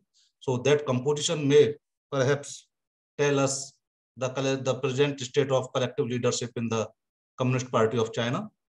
And then there is an issue then uh, that it is also notable that the successor is, issue is still not resolved. It is yet it is unresolved yet, and there are all indica by going the indications available in the in the international media that Xi Jinping is unlikely to indicate or point out or give any indication towards uh, uh his his successor, and maybe that may be a consideration behind a the uh, composition of Politburo Standing Politburo Standing Committee, because uh, as we are gleaning through now, through whatever is being published, that perhaps uh, his main consideration will be not to indicate anyone uh, the, the successor. But let's see how it plays out. So the successor uh, issue is, still unresolved. So that is that is making this uh, this particular Congress quite quite different, quite different. And I agree that still, howsoever powerful uh, and powerful Xi Jinping may be, and howsoever uh, uh, strong desire he may have to be known as on as in the league of Mao Zedong, he is still not Mao Zedong. Mao Zedong and other leaders of his generations, Deng Xiaoping and others, they created, they founded the People's Republic of China. And it is always difficult for anyone, not only in the Chinese system, in any system, political system in the worldwide, to outsize or to outgrow the founding fathers. And the China is China is still known by Mao Zedong and his uh, colleagues. And the and the more more importantly, what we saw the uh, President Xi Jinping is still operating through the alleys and corridors of uh, institutions and we exactly and, and the party establishment we do not know whether he is capable enough even though it is a theoretical and hypothetical question, to approach, operate outside the outside the outside the party channels, whether he can uh, whether he can arouse mass fervor and, and mass sentiments by issuing direct call to the masses the way Mao, Mao Zedong did. Even Deng Xiaoping had, had significant capabilities to operate outside the party channels. So on that count, we are not very, um, one is not very sure. I am not uh, very, very sure. And still I would not like to rate him as Mother Mao Zedong's equal. And I think many Chinese would not like to do so either. Uh, but uh, and another point is regarding the, the culture, which Rappai's have uh, raised. It's yeah, this that a cultural term basically China had started taking the early 1980s on, on, onwards, and the, ruling discourse now which we are seeing, it is difficult to accept it as a Marxist, as a scientific socialist discourse, as a Marxist discourse. We are, as we used to say, we the, world was during the uh, Maoist era Maoist those, those days the discourse was basically uh, built and, and revolved, revolved around the, the principles of uh, working class struggle and workers, work, workers issue. But uh, once the China started opening up in the late 1970s and 80s, we also see that perhaps, not perhaps it is well, it's just way of talking, that it started looking for alternative source of uh, alternative ideological sources of uh, legitimacy to rule. And the Jiang Zemin's the three, three represents. Sange Daibiao was basically uh, a, a turning point in this regard. And after that, whether we can, there may be debate, but it's still a question can be raised. Whether the Communist Party of China is truly a, is only a um, um, working class party, or it's a party of overwhelming majority of the Chinese people, or encompassing uh, every everybody. So that way, that way the that the turn has been already taken. But I would say that that now that quest basically for finding an an alternative uh, source of uh, ideology and alternative ideological source to to rule has taken uh, basically I should say a very defining defining point under under under under under under Xi Jinping. President Xi Jinping still pays court to uh, Marxism, Leninism, and Mao, oh, but he breathes culture in his articulations. He breathes uh, Confucius. He breathes virtues of China, China, virtues of uh, traditional Chinese cultures. He breathes basically, and he much he debunks exceptionalism. His entire political and uh, uh other articulations appear uh, deeply steeped in his belief as we can make through his writings in inherent goodness and greatness of uh, greatness of uh, greatness of China. And now these are core socialist values, core socialist values defined in terms more in terms of uh, basically China's traditional culture, which are which have become building blocks of new ide ideology in China. So that way, I, I completely agree Rappai's knows it well, but he didn't press this point further. I am pressing it further that uh, ideological caste in China has, has substan substantially changed. In, um, has substantially changed. Substantially changed, and maybe now we see uh, we have seen last 10 years a cultural nationalist China. And this trend will continue under President Xi's uh, third term. Xi Jinping's basically uh, this uh, ideological and political agenda will continue. The Chinese dream as defined, as defined by him will continue and we will see this in his party building exercises. This we, we, will see in his state building exercises, either through the, the imposing political discipline, which he, which he had which he has done remarkably successfully in la, last 10 years, but we will see it further because this agenda, because if the these documents the 19th Party Congress reports Xi Jinping's centenary speech in July 2021 and the third resolution on party's history in November 2021 are any indicators, then these indicators do not leave any doubt about China's ideological direction, uh, ideological and political direction under President Xi Jinping. and his own his own ambition in, in ideological, basically in ideological terms, that what kind of China he wants to see and what kind of role and legacy for himself he, he visualizes in that China.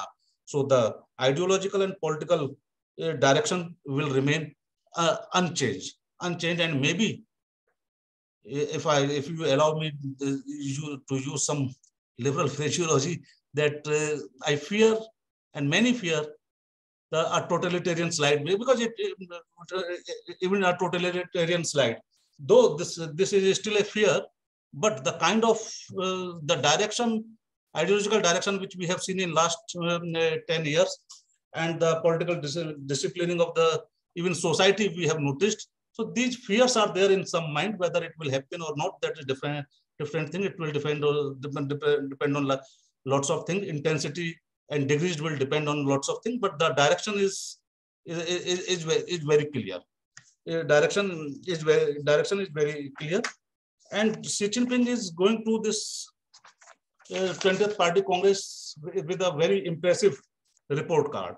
And no doubt on economic terms, Xi Jinping, so we, we can highlight the, the recent hiccups, basically the uh, COVID-19 induced hiccups in Chinese economy, but uh, the longer trajectory of 10 years is really very, very impressive. And particularly when we look at this, how this 100 million, there were 100 million people, people living in absolute poverty in, in 2012, and now there are only 1.1 million. It is very impressive. And there are other indicators like disposable income, which has gone more than double in 10 years. And GDP has also gone more, more than uh, uh, double. And um, FDI, FDI is also uh, 35 billion uh, more than what it was in 2012 and now China has emerged as a, leading OFDI provider, and it is providing more OFDI than it is receiving receiving FDI, receiving FDI. Uh, receiving, and uh, at present, uh, the latest figure is around 153 billion dollar, and the trade now, the, as per the the latest figures, China's overall trade is six billion dollar dollar more than the American overall overall trade, and urbanization rate in terms of permanent residence has significantly improved in China. So these are not mean basically achievements under under under under under Xi Jinping, and uh, but yeah, the recent problems uh, are there.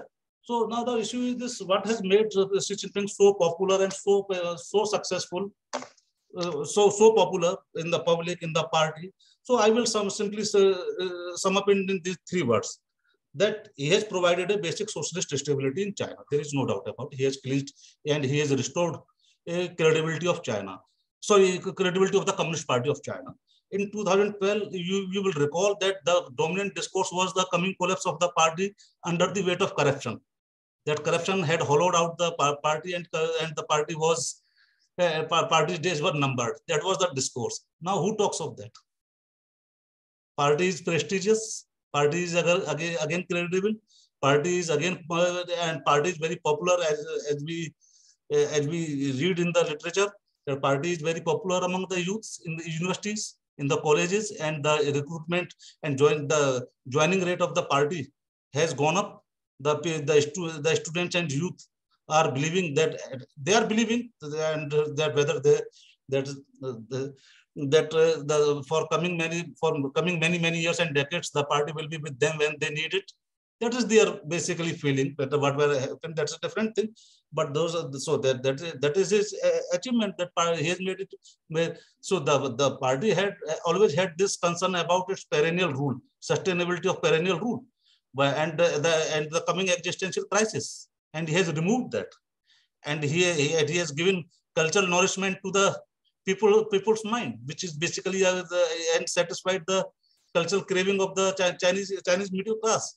And of course, then there is all this great power projection and scientific achievements, etc.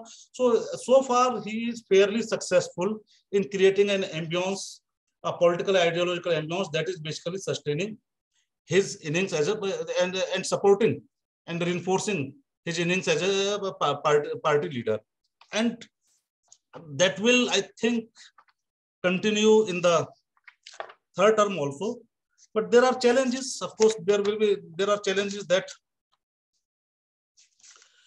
that he has to re-energize the economy. The, the recent contradictions have developed in, in, in economy. He has to basically make this dual uh, dual circulation theory that increase the the that decouple the they increase the domestic consumption and insulate it from the external economic upheavals and uh, upheavals and so these are so this is this he has to do in the in the th third term more vigorously and seriously because now that is the objective we know but how it will be achieved we don't know uh, much about it and the some of the the policies which have been taken recently per, per, with basically, which basically has impacted private sector and the share of private sector in Chinese economy basically are somehow contradicting uh, uh, this theory. But uh, we hope that they, they will do some something about. And in the present scenario, it, it looks that perhaps there will be greater state control in the economy. A greater state control on the in the economy but whether that will benefit china in economy that we will have to see because the symptom is now is, is, is that only. And I am not very pessimist, pessimistic about the exit from the zero this this zero COVID uh, policy because see, there have been many scientific reasons which we have not discussed, maybe discussed in the question under answer, answer session, and there may there there may be political considerations also. There there is no doubt about that. But this zero COVID policy is not a badge of honor that China will go on wearing it for many many years. They have to come out, and there and it they may not come out immediately after the 20th party congress but they will come out fairly soon and, and when they decide to come out of it they will do it very fast i'm pretty sure about it about their but their real challenges are in economy now.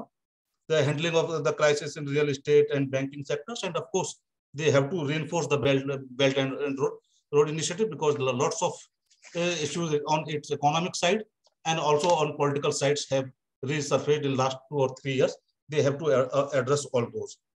And when it comes to the foreign policy, I have a slightly different different take, and not necessarily because some way I agree with most of the points by previous speakers, but I'm just saying in my own words that now the the immediate challenge for Xi Jinping and his new team will be to revitalize Chinese diplomacy because it has taken a hit like any other countries due to COVID-19 and President Xi Jinping has started traveling internationally again.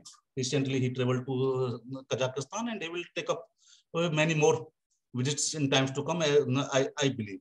So revitalizing, revitalizing Chinese diplomacy in terms of basically winning trust again in many parts of the world and deepening trust eh, in other many other parts of the world, it will be their eh, will be their priority.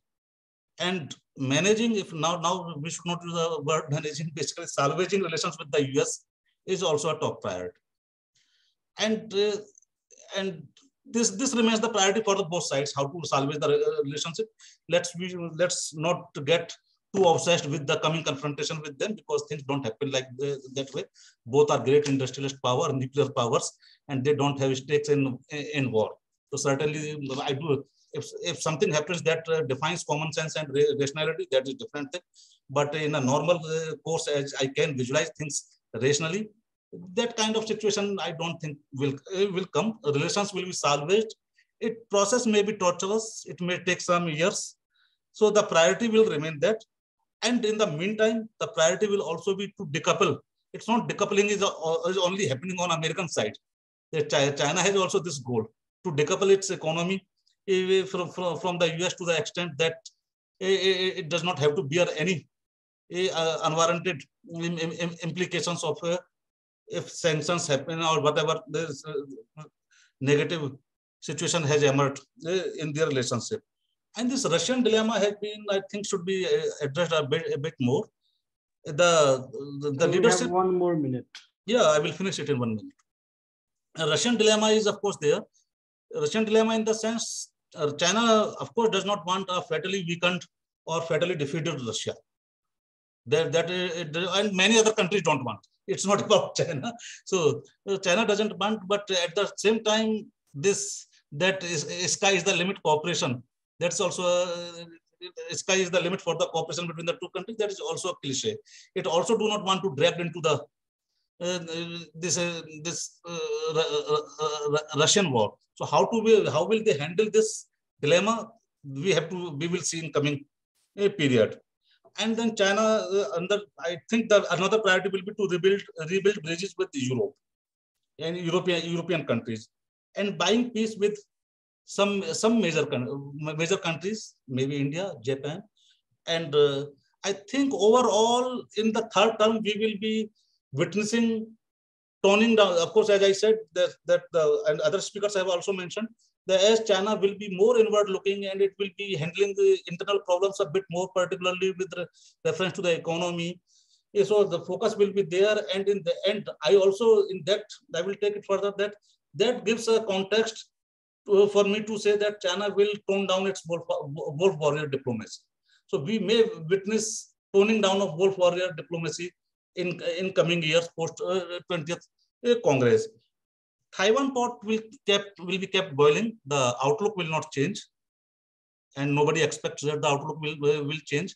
And I also do not agree that in 2027 something major is going to happen because so many timelines and that Taiwan is essential for the realization of Chinese dream and that therefore it has to be timetabled, etc. It's all scholarly interpretations and scholarly spins. Xi Jinping himself has not said it.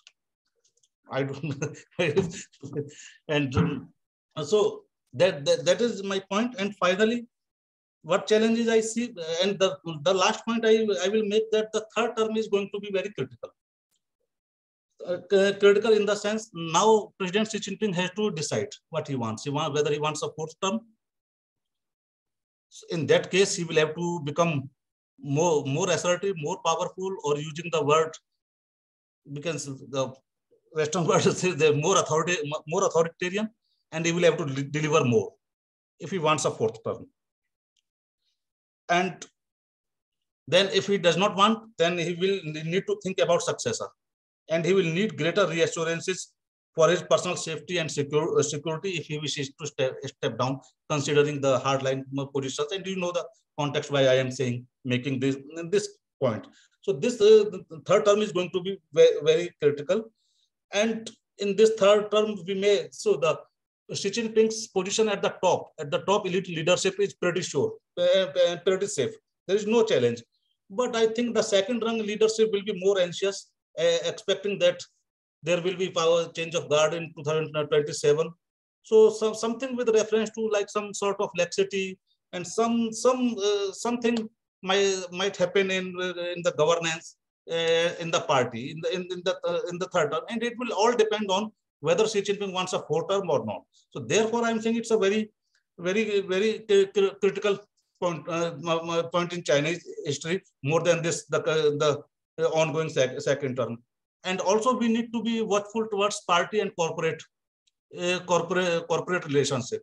The party's relationship with the uh, with the super rich, because the party still wants to deliver wants uh, prosperity and growth for China, and but it has but it historically in last 40 years post reforms it has somewhat ambiguous and complex relationship with the uh, corporate they do not want them to outgrow the party so that and and maybe partly because of that, not entirely because of that, but partly because of that, we have seen some crackdowns on the big uh, corporate houses, etc. So on that front, what is happening, going to happen in the coming period, coming years, we need to we need to watch.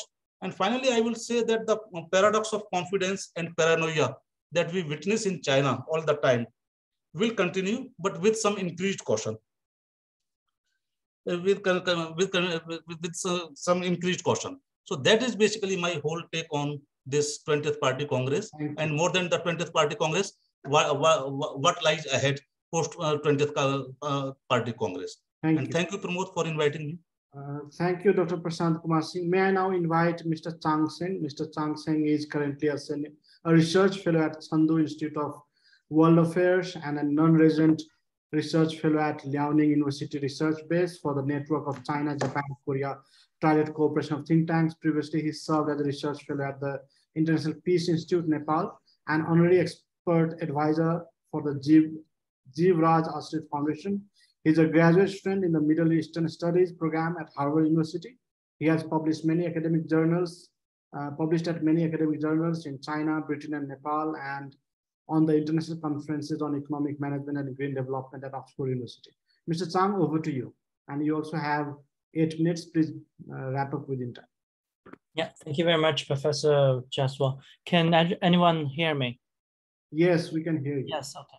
Great, thank you very much. And uh, I would like to just like share some of my observations of uh, the current Chinese politics and the Chinese society. In, and uh, so to overall, like to conclude about uh, like how the, uh, after the 20th Congress, the Chinese policy will be is that I feel like the, the uh, China after the 20th Congress will be like pursuing the great uh, great uh, visions of uh, President Xi Jinping, but meanwhile, like it's going to face large conundrum of the reality, like uh, facing large um, uh, problems. And so one important thing is that uh, next year is actually the 10th anniversary of uh, the BRI project. You know, it's in 2013 that uh, Xi Jinping announced this when he was visiting Kazakhstan so we would definitely expect next year to see a lot of um, propaganda and uh, public uh, public uh, publicities about the success of the BRI and things like that. And probably China is going to provide uh, provide more like international aid and loans and stuff for uh, to keep the uh, BRI projects going, and that's probably some very important thing for for South Asia as well. But the problem is that the Chinese economy this year has been doing, let's say, frankly speaking, it's doing quite bad this year. And uh, uh, be mainly because of uh, the zero COVID policy. And um, I think uh, according to the official data of the Chinese Statistics Bureau, you would find that uh, the Chinese economic growth for the last half a year was 2.4%. Uh, and for the second quarter was 0.2% something increase. And if we all now about how the Chinese official statistic bureau like calculate their data, we would find that um, they normally like put everything they can into this calculation so that the GDP looks larger and a lot of times probably larger than reality. And this time, even with that type of very generous calculation, 0.4 0.24% of uh, increase for the second quarter is basically means the economy didn't really grow. And basically means that probably like the economy like not only didn't grow but also like shrank. Um, and uh, the thing is that uh, uh, as long as the zero covid policy continues i don't expect the chinese economy of doing any well and this year, according to the estimate of a lot of uh, not only scholars in China, but also United States and everywhere, people have the understand, uh, a lot of people think that uh, probably the overall increase of, uh, of Chinese GDP this year probably is like 3% or something, which is lower than the 5% uh, goal of the, of the Chinese State Council.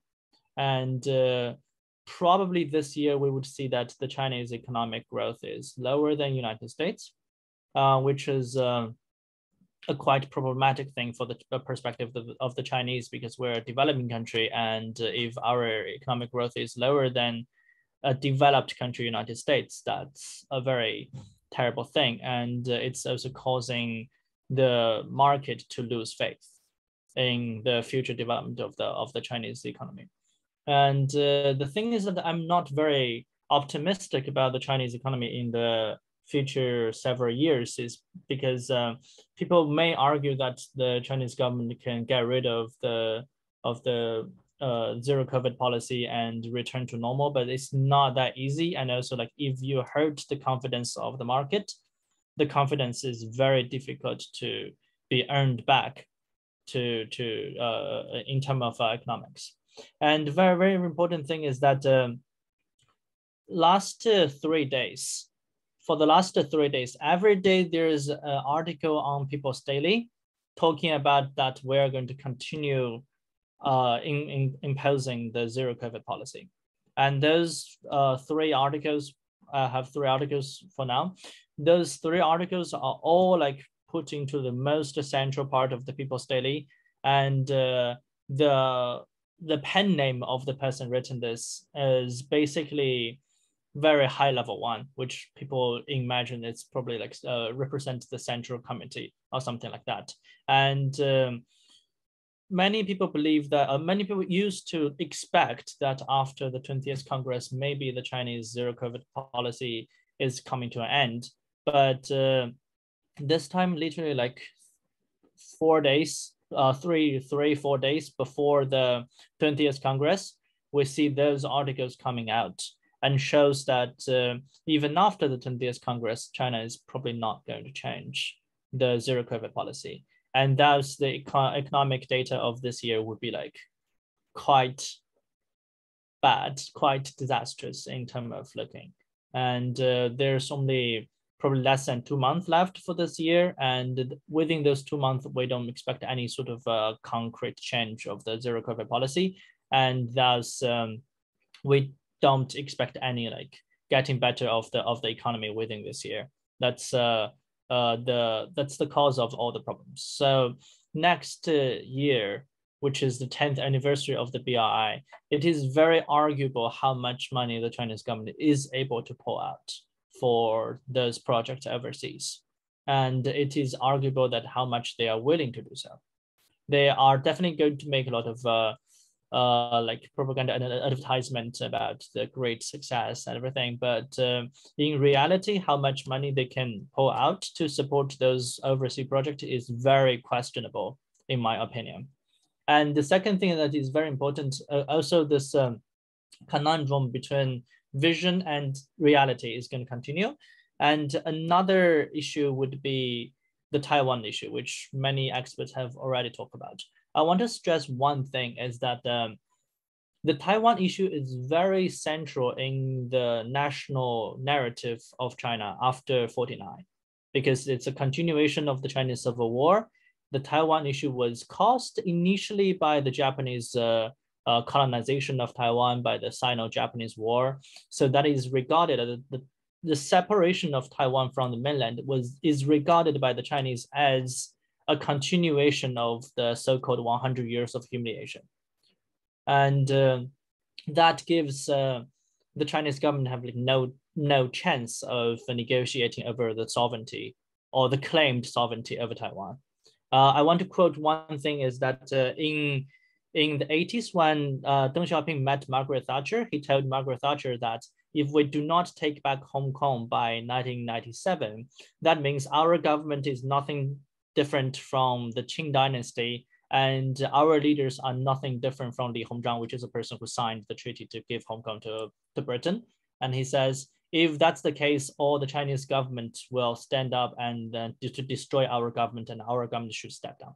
That is the quote of Deng Xiaoping. And I believe that the same mentality, same logic is certainly applied to Taiwan. So that's the, the, the thing that's uh, so that's an issue that the Chinese probably just cannot, simply cannot compromise on. And we all know that the legitimacy of the Chinese government at this moment is um, not based on like uh, like periodical elections only, like uh, but it's based on the its performance to increase or to enhance the livelihood of the Chinese people and its ability to defend the sovereignty of China to prevent the so-called 100 years of humiliation from happening again. So that's closely related to the essence of, uh, of the legitimacy and survival of the regime. And that's uh, something that the Chinese cannot compromise on. And if we know anything about President Xi Jinping, he is certainly a person who wants to write his name into the history books and being remembered for thousands of generations or something like that. That's something that we probably can all agree on about his personality. And uh, also one very important experience I want to uh, uh, emphasize about Xi Jinping is that um, he served as the governor of uh, Fujian for a long time. And he, among, let's say from Mao Zedong to the present, among those like five leaders of China, he is probably the one who spent most time dealing with people from Taiwan because there's a lot of Taiwan merchants in Fujian. There's a lot of um, Fujian Taiwan uh, connections and uh, track one, track two diplomacy and all of that. So among all of them, he's probably like the person who spent most time with uh, on the Taiwan issue. and he also wants to be written into the history book. And that naturally come to a conclusion that he is the person who wants to unify Taiwan within his terms, which maybe next term will be the term later. We don't know how long he's going to persist. And we don't know, but like at least like one to two. And uh, he is the person who want to do that. So you can very clearly see that uh, the Chinese foreign policy trend in the future is that within his term, he want to unify Taiwan and uh, at, let's say at all cost. And but the, the conundrum is that as I talk about, if the economy is a conundrum. Like right now, the Chinese economy, we do not see it getting improved this year. And uh, it's very arguable how much we can improve in the future. It's arguable, questionable how long uh, the zero COVID policy is going to take.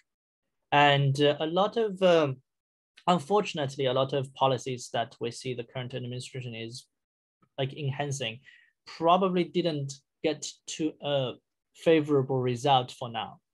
Let's say a lot of Belt and Road uh, project and things like that. And that shows that uh, we have great region, but uh, great vision, but the ability of enforcement may need to be improved. Let's say this way. And uh, same thing with like related to Taiwan would have that issue. Is that uh, for the last uh, 10 years, five to 10 years, we do not see like the unification with Taiwan going into like very fast uh, progress. And actually on the country, um, after the Hong Kong riot of 2019 and uh, also the mass of zero COVID policy right now, those things are causing Taiwan like more reluctant of uh, toward unification and that is a, a huge challenge. And our uh, economic problems is certainly a challenge. Very, very unsatisfactory livelihood of the Chinese people recently is a challenge because we want to the the, the, the Chinese uh, government certainly wants to uh, maintain stability, but if the most of the people are living in like such a large like, like such a heavily pressured atmosphere of zero COVID policy, it's very difficult to to like let's say stipulate uh, very uh, very difficult to to to in uh, to instigate the sense of um, patriotism or nationalism and to rally the people around the flag. It's that would be very difficult to do so. And also one other thing that uh, we probably uh, should think about is that uh, the like we all believe that President Xi Jinping is certainly like the most uh, um, powerful and influential one in the Chinese uh, politics, and there's no rival, as uh, all the other experts have already talked about. But the thing is that uh, he does not have rival, but the thing is that he may not be able to exercise all of those influence into practice as we imagine that would be. And a case of that is the Shanghai lockdown during the Shanghai lockdown, he was trying to like do the zero COVID policy in Shanghai. He sent uh, the, the the director, uh, the, the the general secretary of Shanghai is uh, very close to him. He also sent the uh, the deputy uh, premier, uh, which is also very close to him, in, to Shanghai to like make sure this thing is going. But the problem is that we see that in Shanghai, the local bureaucrats probably just didn't cooperate well, and the thing became disastrous over the two uh, the two months. So that's a case of showing that uh, he has a lot of influence, but may not be exercised it into the practice, and that thing sets question for uh, not only like Belt and Road projects in the future, but also like the uh, issue of Taiwan, the unification issue of Taiwan, and a lot of uh, goals that the Chinese government is going to try to pursue in the future. That's it I want to share. Thank you.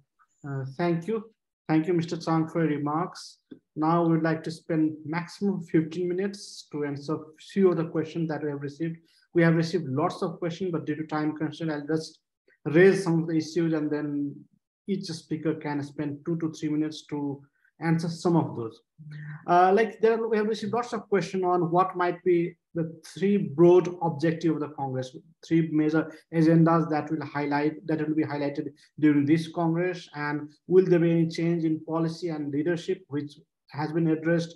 Will Xi Jinping further consolidate power, which all of us have said that the answer is yes. Will the Congress lead to a uh, lift in the stringent zero COVID policy? We have received lots of questions on zero COVID policy. We have also received uh, lots of questions whether uh, what is the future of Taiwan Strait uh, uh, during the um, third term of Xi Jinping. lots of questions on impact on India and Nepal relation, which has been answered briefly. Similarly, what are the future plan of CCP on, on, the ongoing geopolitical changes around the world? Uh, there are also interesting questions like, is CCP still a revolutionary party, revolutionary organization? And uh, is Xi Jinping going to emerge as a more powerful leader in this Congress, which many of the speaker have said yes. And there some question whether the strength of uh, PLA would be increased, uh, how they will be able to transform. Will uh, Xi Jinping use PLA as a as a tool for the next five years where he can project himself as the most powerful uh, because he's already done on the economic front. So maybe uh, the st strategic front would be one sector where Xi Jinping would like to focus and strengthen himself uh, during the uh, third term that will open door for the fourth term. So these are the questions that I have received. Maybe if you want to add something in just two, three minutes, I'd like to request all our participant uh, panelists. I'll start with again uh, Ambassador Ashok Kantha and then followed by uh, uh, Dr. Deepak. So Ambassador Kantha, over to you. well, in two minutes, uh, trying to answer. You know, uh, uh, I'd already talked about the main objectives uh, Xi Jinping has um, with regard to 20th Party Congress. I'll just quickly, you know, um, highlight three, four of them. one, of course, you know, in terms of further reinforcement of his centralized leadership, which has been a feature of of you know uh, CPC during last 10 years. Uh, uh, two, you know, in terms of ideology being the chief interpreter or ideologue in chief of Marxism in, in China today. And this will get reflected in uh, changes in the party constitution.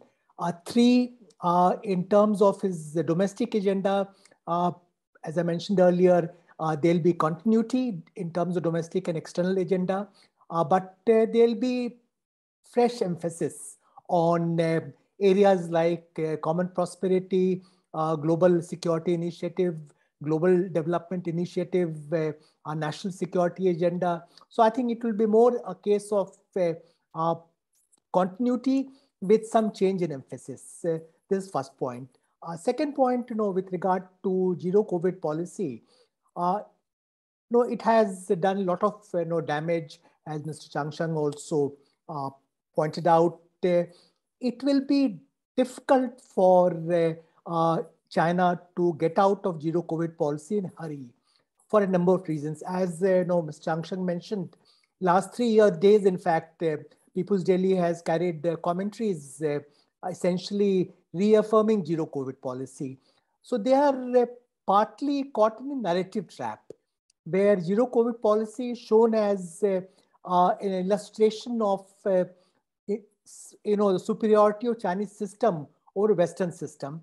Uh, so because they could manage to keep uh, death rates very low in China. But if you open up the number of objective reasons why death rates will go up very substantially. And that's the risk which will be very difficult for China to take at this point of time. So I suspect that zero COVID policy will continue for some time. A final point I wanted to make uh, with regard to uh, impact uh, on uh, India-China relations, uh, I don't expect any significant course correction by China in terms of its approach to India. As you're aware, India-China relations are going through a very rough patch because of a number of structural reasons and not only because of clashes in Galwan. Uh, China is adopting uh, an approach uh, unmindful of India's interests, concerns, and aspirations, which is unlikely to change anytime soon. There might be some tactical adjustment there, uh, basically to drive a wedge with India and uh, USA and other Western countries, but no substantive accommodation of our concerns and interests. Uh, I'll stop there. Thank you, sir. Professor B.R. Deepak, over to you, sir.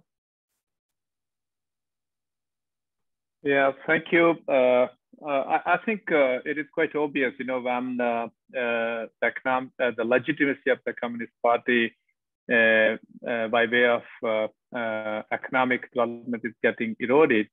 So it is uh, uh, uh, obvious that the politics in command, it will gain traction. And that's exactly what is, you know, uh, happening. And uh, it could also be uh, built through the sixth resolution, where it has been emphasized that there has been, you know, certain deviations during the reform period. And that is also, I think, or could be interpreted in this this way. Second thing is, uh, as far as uh, you know, PLA is concerned, I think uh, which is to some way also related to how Xi Jinping is going to handle Taiwan crisis because uh, uh, it is largely expected that Miao Hua and uh, this uh, He Weidong, so they would be, you know, making to the vice chairmanship of the CMC.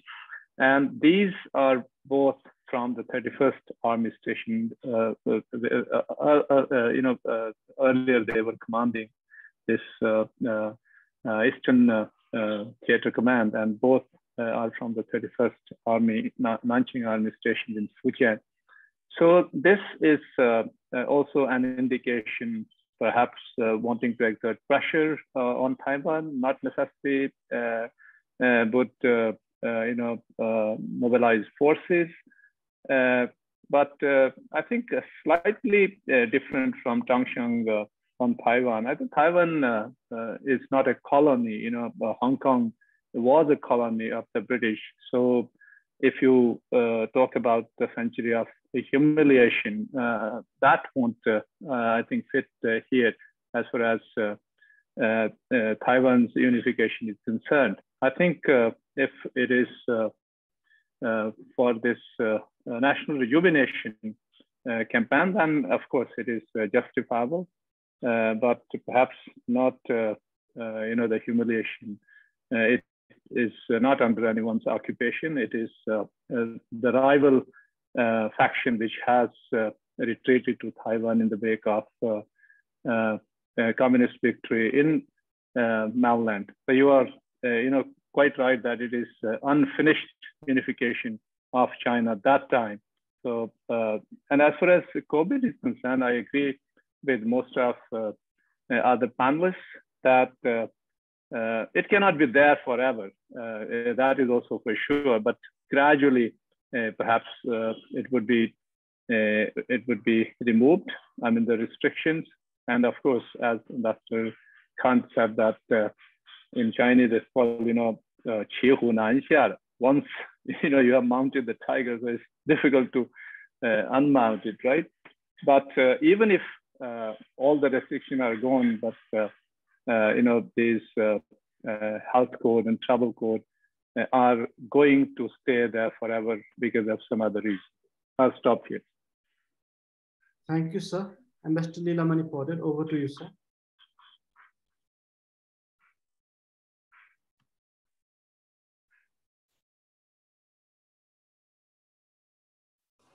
Um, uh, thank you, Dr. Pramod, once again. Uh, basically, I would also uh, just talk about that uh, uh, relaxation on the COVID uh, pandemic um, measures, the control measures that China has been taking. Of course, this has been taken as a, as a, as a um, as a, a, supremacy of the of the governance system of China over the Western governance system that China has been able to control the COVID pandemic with uh, less damage than the Western countries or the other uh, other uh, liberal economies. Uh, they said that uh, they have adopted policies. But um, what I uh, see is that the morbidity rate of that uh, COVID pandemic at this moment is very low. And the vaccination to all is already been achieved in China. And um, that very few incidences of the COVID in a, in a particular geographical region shutting down all all uh, uh, businesses and then uh, you uh, uh, asking people to uh, keep inside the home and the taking nucleic acid test and the COVID test every day for millions of people um, every day. I think that is too much reactions and the China I think it, it is a time to, to uh, gradually relax the COVID-19 policy. It has severely uh, dampen the um, economic uh, interest of, of the country and the globe as well. Not only China, it has the severe impact on economic impact to the countries in periphery and the, throughout the world. Um, uh, China's uh, economic growth, as uh, earlier speakers also mentioned, I also mentioned that is uh, blink at this moment. This is one of the reasons is that COVID-19 pandemic, the policy China has been adopted. That's why this is a time to rethink about uh, about uh, that uh, relaxation of the policies gradually. I don't see that uh, go free. Um, maybe um, they should think about those. Um, although uh, Mr. Zhang mentioned that, Zhang mentioned that the based on that uh, uh, last few days, the publicity is coming from the from the close allies of the political leaderships. There is no any any possibility of immediate relaxation on the COVID policy. Um, uh, um, one of the uh, participants has asked a question about the um, implications to Nepal on the COVID policy. Um, uh, Nepal has a, um, a, large number of uh, projects uh, from supported from China, and also the BRI project is in are not in good progress at this stage, and also the um, including that railway project, uh, connectivity railway project, and the, there are large number of Chinese contractors uh, uh, operating in China, and then their performances is also suboptimal. This is all because of the uh, uh one of the regions, major regions is the, the, the, COVID restriction policy China has adopted. That's why if relaxation is uh, uh, done on that COVID policies, the project implementation from China funded project as well as the China contractors involved would be speeded up, and then that will improve the overall uh, development activities in Nepal. Second, that China is the second largest source of tourism. And the tourism industry, the large number of tourism enterprises are dependent on Chinese tourists. The COVID policies, very strict COVID policies has uh, severe implications on the enterprises in Nepal.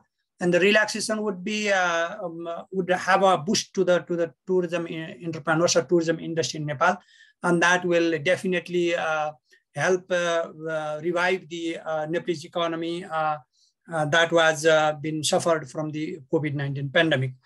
this is about the COVID. And the one more question that was been posted was about the prediction of a railway project connecting China and Nepal. Uh, the, both the countries has recently agreed to uh, conduct a feasibility study, and then that will possibly be completed within uh, within um, within a year of the agreement signed, uh, the agree agreed on last uh, um, October, uh, sorry, uh, last uh, August. Um, maybe uh, by by by the mid of 2023, the feasibility study will be completed, and the project actual completion would depend on the on the basically the Nepalese side's interest of of taking this project on a, on a priority basis and be making consensus on within Nepal uh, for this project. If there is a, a, political consensus and the Nepal government is determined to take this project uh, with, with very uh, uh undivided mentality and, the, and they puts its own resources based on its capability and the seeks the China's support uh, uh, unanimously for, for connecting railway linkages. Um, that uh, definitely would uh, uh, will will will take a speed and then will be realized not very far away very long, because China's capability is making that route, that uh, long railway project is not a big deal for China based on its capability to uh, uh, developing railway network and the, it's world's the largest almost 40% of the fast railway network has already been owned by China and then built by China these days. That's why uh, that's no any any any kinds of the doubt I have that if there is a, um, uh, a, a unanimous uh, kinds of the uh, uh, building this uh, connectivity railway connectivity project um, and the both sides prepare for implementation of the project in terms of institutional arrangements and resource allocations and the legal and procedural matters if they they agreed on that and then it will be a, a not be a, very far distance project um, uh, regarding other uh, particular specific issues, uh, um, the policy, the the, the new leadership's policy towards Nepal, I don't see any any big paradigm shift, unless and until Nepal makes its position changed. If Nepal's position remains continued and the uh, China's uh, continued support to socio-economic development of Nepal will be uh, uh, pursued and it can be expected from the new leaderships as well. And then there will be a continued uh, uh, dialogue at the highest level and the interactions in multiple levels in economic, cultural, political, um, educational, people-to-people -people level there is a great prospects of expanding bilateral economic and socio-economic contacts and relationship. And that will uh, definitely uh, benefit uh, Nepali people for uplifting its, uh, its, their economic status, status and the, uh, if both sides work together and they remain um, sensitive on their core interest and the work together for maintaining stability and, um, and, the, and the uh, development in the region. Uh, uh, that that would bring in benefit to both the countries. Um, the, both the both the leadership will pursue the similar kinds of policy. I think in the in the coming days as well. That will be the common interest and the common aspirations. Thank you. Thank you. Thank you, sir. Dr. Rityusha Mani Tiwari, over to you. Thank you. Um, I'll try to focus on now the party priorities uh, uh, in the wake of this Congress. So what is it that they are trying to achieve once the uh, new formation of Politburo and Central Committee is there? Uh, there are three, of course, and everybody has been talking about them. The zero COVID policy, uh, how do you exactly, you continue it or you discontinue it? Uh, of course, handling the steep economic challenge that is there and the goal of reunifying with Taiwan. Uh, first, coming to zero COVID policy, um, China's zero COVID policy has been uh, one of the landmark policies of Xi, and that's how he has kind of handled the entire uh, COVID, uh, you know, pandemic time with this kind of narrative. And uh, while much of the rest of the world is returning to a kind of post-pandemic normal, uh, Chinese authorities have intensified their efforts to continue to contain outbreaks with strict measures, etc. And there are reports that more than 70 cities, including Shenzhen and Chengdu, are actually under partial lockdown or full lockdown in certain places in the previous weeks. Uh, Xi has reaffirmed uh, to fight against any kind of opposition that distorts or doubts uh, or denies his COVID policy. So um, the party may argue after this Congress that uh, China, un unlike other countries, values people's lives more than the economy, and that kind of a narrative is going to perhaps, uh, you know, justify the continuation of zero COVID policy for at least some time. Uh, yes, it is not indefinite, but even if it is not indefinite, there is a foreseeable uh, continuance of zero COVID policy for some time, and that is extremely important uh, given the fact that economy is actually getting hampered because of that. Second, about Taiwan. Um, Xi has always favored a hardline uh, approach to relations with Taiwan, uh, particularly when it comes to the relationship with West. And on the issue of Taiwan, it has been a very hardline approach. Um, and uh, the way uh, Xi has uh, spoken about reunification with Taiwan and that it must be fulfilled by 2049, uh, there is there is a possibility that that kind of hardline approach is going to be continued. Um, and I, I don't see any kind of change there which is why i would say that there is a kind of status quo as regards to china's taiwan policy. How does it uh, deal with the the economy which is struggling? Uh, it is in bad shape. Road to recovery may be extremely long. And the government what what kind of directions do we see government taking post this congress? Um, whatever be the composition uh, government has been indicating that it will roll out uh, stimulus packages. I mean the way to recovery is basically premised on the fact that government is going to get in with government intervention in terms of investment. So stimulus packages to keep the economy on uh, some sort of road to recovery um, uh, along with uh, and where in which sectors do these stimulus uh, measures actually go? That is what will uh, be very important when it comes to balancing with zero covid policy because there are sectors which are getting extremely impacted due to a lockdown due to zero covid uh, policy. So whether these are the ones which are pro people which are rather populist uh, you know segments of um, uh, economy. That is something that remains to be seen. Um, I'll just rest with uh, uh, the popular Chinese phrase, which is in usage. Probably Xi will abide by that. Uh, Putsuo Putsi, which is like you don't, if you don't really, very loosely translated, uh, if you don't really quote trouble, if you don't go asking for it, you will not die. So maybe not too much of an upheaval is in the offing. Uh, maybe stability is the key word for that. So thank you. Thank you. Mr. M.V. Rappai, over to you, sir. Thank you, Uh, I think I will not uh, labor on too much on the COVID policy, but I think it will be slow and steady.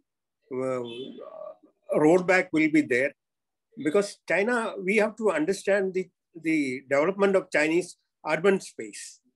Because if they allow the, the, the COVID, unless they have um, foolproof methods, it will it can spread and really have havocs among the population. So I think uh, I will leave it that. But uh, overall economic development, the it is two uh, things are there for Xi Jinping to uh, maintain the economic development because that also related to the aspirations of the people and the satisfaction of the people because that is going to keep the party in power and uh, the dispensation which is going to come uh, in the next um, after the election after the uh, the Congress, who will be ruling the the the party and how much they can deliver. That will depend upon it. And I will uh, take up the question about PLA strength. I think, to my understanding, PLA is not going to increase the strength. Rather, they may reduce. But it depends upon two or three conditions. Rather, their uh, focus will be on joint warfare and uh, making the theater command system they introduced a success because that needs a lot more joint cooperation between all their different uh, units, army, navy, air force, and the rocket forces. So that training will take a longer time, even though uh, because jointness, even with all the experiments in American military, we can see jointness takes a longer time. The resource uh, mobilization and resource utilization by different forces needs a lot more training and uh, uh, working together. So China will um, see that development, but but Chinese are certainly doing the PLA. One thing we can see is the quality improvement and the education level of the forces. That how they will manage that because due to the cyber and uh, now the artificial intelligence is going to be more applied into the army. That transition, how PLA is going to manage and uh, where the resources will come, how the universities are getting, getting to invo involved in that process. I think that needs uh, a keener uh, attention.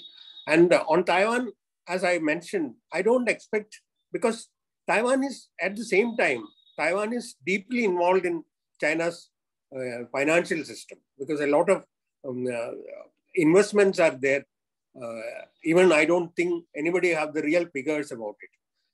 and apart from if, for example, the DPP has their own interest in keeping the um, quarrel going on. but how the political dispensation in both countries, uh, who will replace the present premier in Taiwan, the president, president in Taiwan, those things will, um, will, will have to be watched. And uh, I don't, even though the people are putting 1927 or 1949, I don't think that is a, uh, you know, that is that is nothing uh, engraved on a stone, because that, uh, according to their um, uh, circumstances and convenience, that dates can be reworked. Of course, uh, Xi Jinping cannot argue that he is not for unification. Any leader sitting there will say that I am for reunification. So let us wait and see the developments. Uh, and uh, uh, the, the main thing is how the, the aspirations of the people getting satisfied, that is to be watched. Thank you. Uh, thank you, sir. May I now invite Dr. Prashant Kumar Singh? I will not speak much because, but I have made all my points already.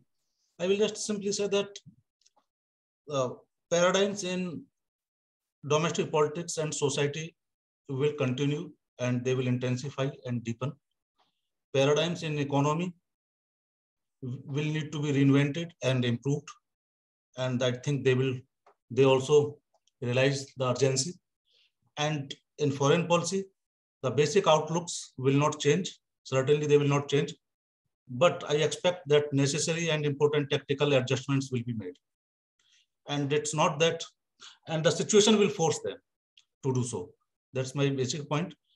And about Taiwan, I would like to make a general point because uh, I will not go into the because I already said that I do not see as much threat, any significant threat to Taiwan either in 2027. And I will also say, I'm sorry, but uh, yeah, 2027 or not, nor I do see that in that way in 2049. So that is my, I may, time may prove me wrong, that's a different matter, but as of now I don't see. And the, but a general point is my this, where I will try to reconcile Professor uh, Sir B.R. Deepak sir and uh, Mr. Dr. Sanchand's that I say I cannot basically offer and visualize and I cannot uh, tell a precise way out for both the parties. In fact, no one can, and no one has done so in last seven, seven, 70 years or so. My general remark is that I think uh, climbing down from both sides need to happen, they need to take place.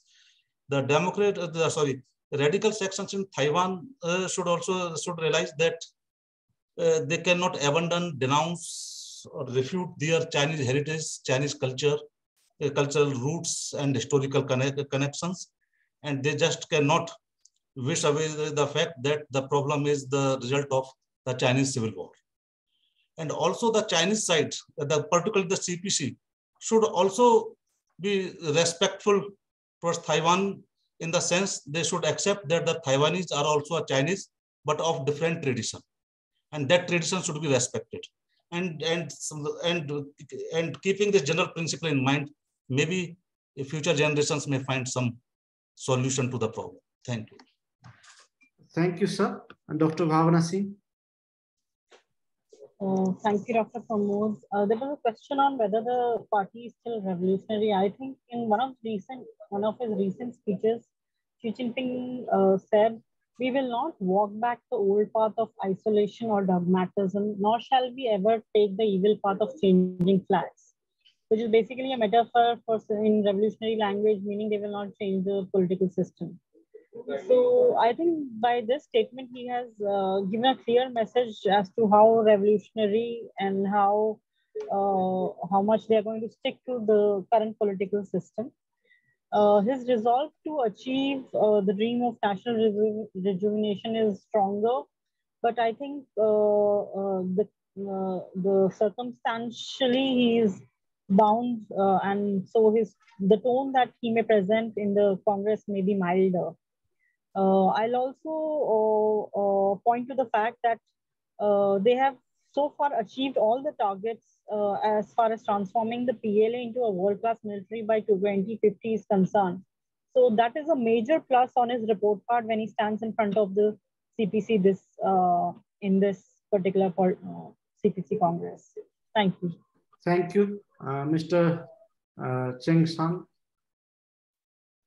Yeah, I think uh, I agree with uh, what uh, the uh, said. And the one thing that I want to stress is that a lot of times, probably like if we look at what is uh, the tragic uh, the, the the trajectory of Chinese decision making this year, a lot of times what we would find that uh, probably the leadership is not making the decision from a purely technical point of view, and the most uh, uh, the, the best example is the zero COVID policy, is that we have been reaching the consensus that uh, COVID Omicron right now is not like COVID like three years ago. It's totally different thing. But um, the thing is that we noticed that the medical experts are not the ones making the Chinese policy toward COVID at this moment.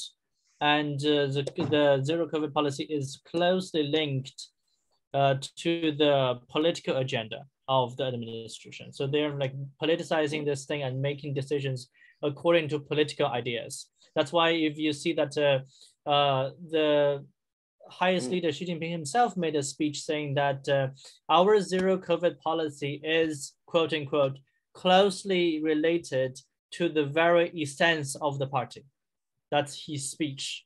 And uh, I have yet find another case of uh, any leader from Mao Zedong to the present linking one policy closely to the essence of the Communist Party. That's unheard of in history. Uh, so that we see that, uh, prob and, and also like right now, the last three articles that we mentioned on People's Daily saying that we have to continue doing this thing, it's like you wouldn't be able to understand that from a um, technical point of view. But uh, from a political sense to see that uh, uh, how like this the the highest leadership is trying to preserve the uh, prestige or in chinese word we say preserve the face in preserve the face of um, uh, and you and, and to make political decisions in order to preserve the face and prestigious and uh, stability of the of the current administration i think that is why the zero COVID policy is right now become like such a huge thing and uh, why it's probably not going to change. And for the same reason, I would say that we would find in the issue of Taiwan in the future. Like within next five to 10 years, a lot of times you would find uh, this quite similar thing. Is that a lot of times today, I think we're discussing from technical point of, uh, point of view to see like benefits, weighting, against the costs and things like that. But it seems like that may not be the path that the Chinese leadership may take in the at this moment and may in the foreseeable future because the they will probably like not to see that from a strict benefit versus cost calculation. They may see that from a more of perspective of um, preservation of uh, legitimacy, prestige, and face, and uh, uh, personal reputation, and things like that. So that's what uh, uh, the, the so-called irrational. I mean, I don't want to use this word irrational because it's not. It's very rational, but like, uh, but like those uh, like sort of like emotional, personal factors, and the clique factors. Those things might worth more and may have more influence to then uh, to Chinese foreign policy in the future than we probably like as think it deserves at this moment. Thank you. Thank you. Uh, Ambassador Ashok Kantha, Professor B.R. Deepak, Ambassador Leelamani Paudyal, Dr. Rityusha Mani Tiwari, Mr. M.V. Rappai, Dr. Prashant Kumar Singh, Dr. Bhavana Singh, Mr. Sheng Zhang. We're really thankful for interesting remarks and a valuable time. I, on behalf of NIICE, would like to express our gratitude for your remarkable presentation and, we, and, and, and your love and support provided to NIICE. We hope to have you again in future, maybe right after the National Congress to analyze how uh, things are moving beyond that. We'd also like to thank all our participants who joined us through Zoom, Facebook Live, and YouTube. Uh, we also like to thank you all for the questions.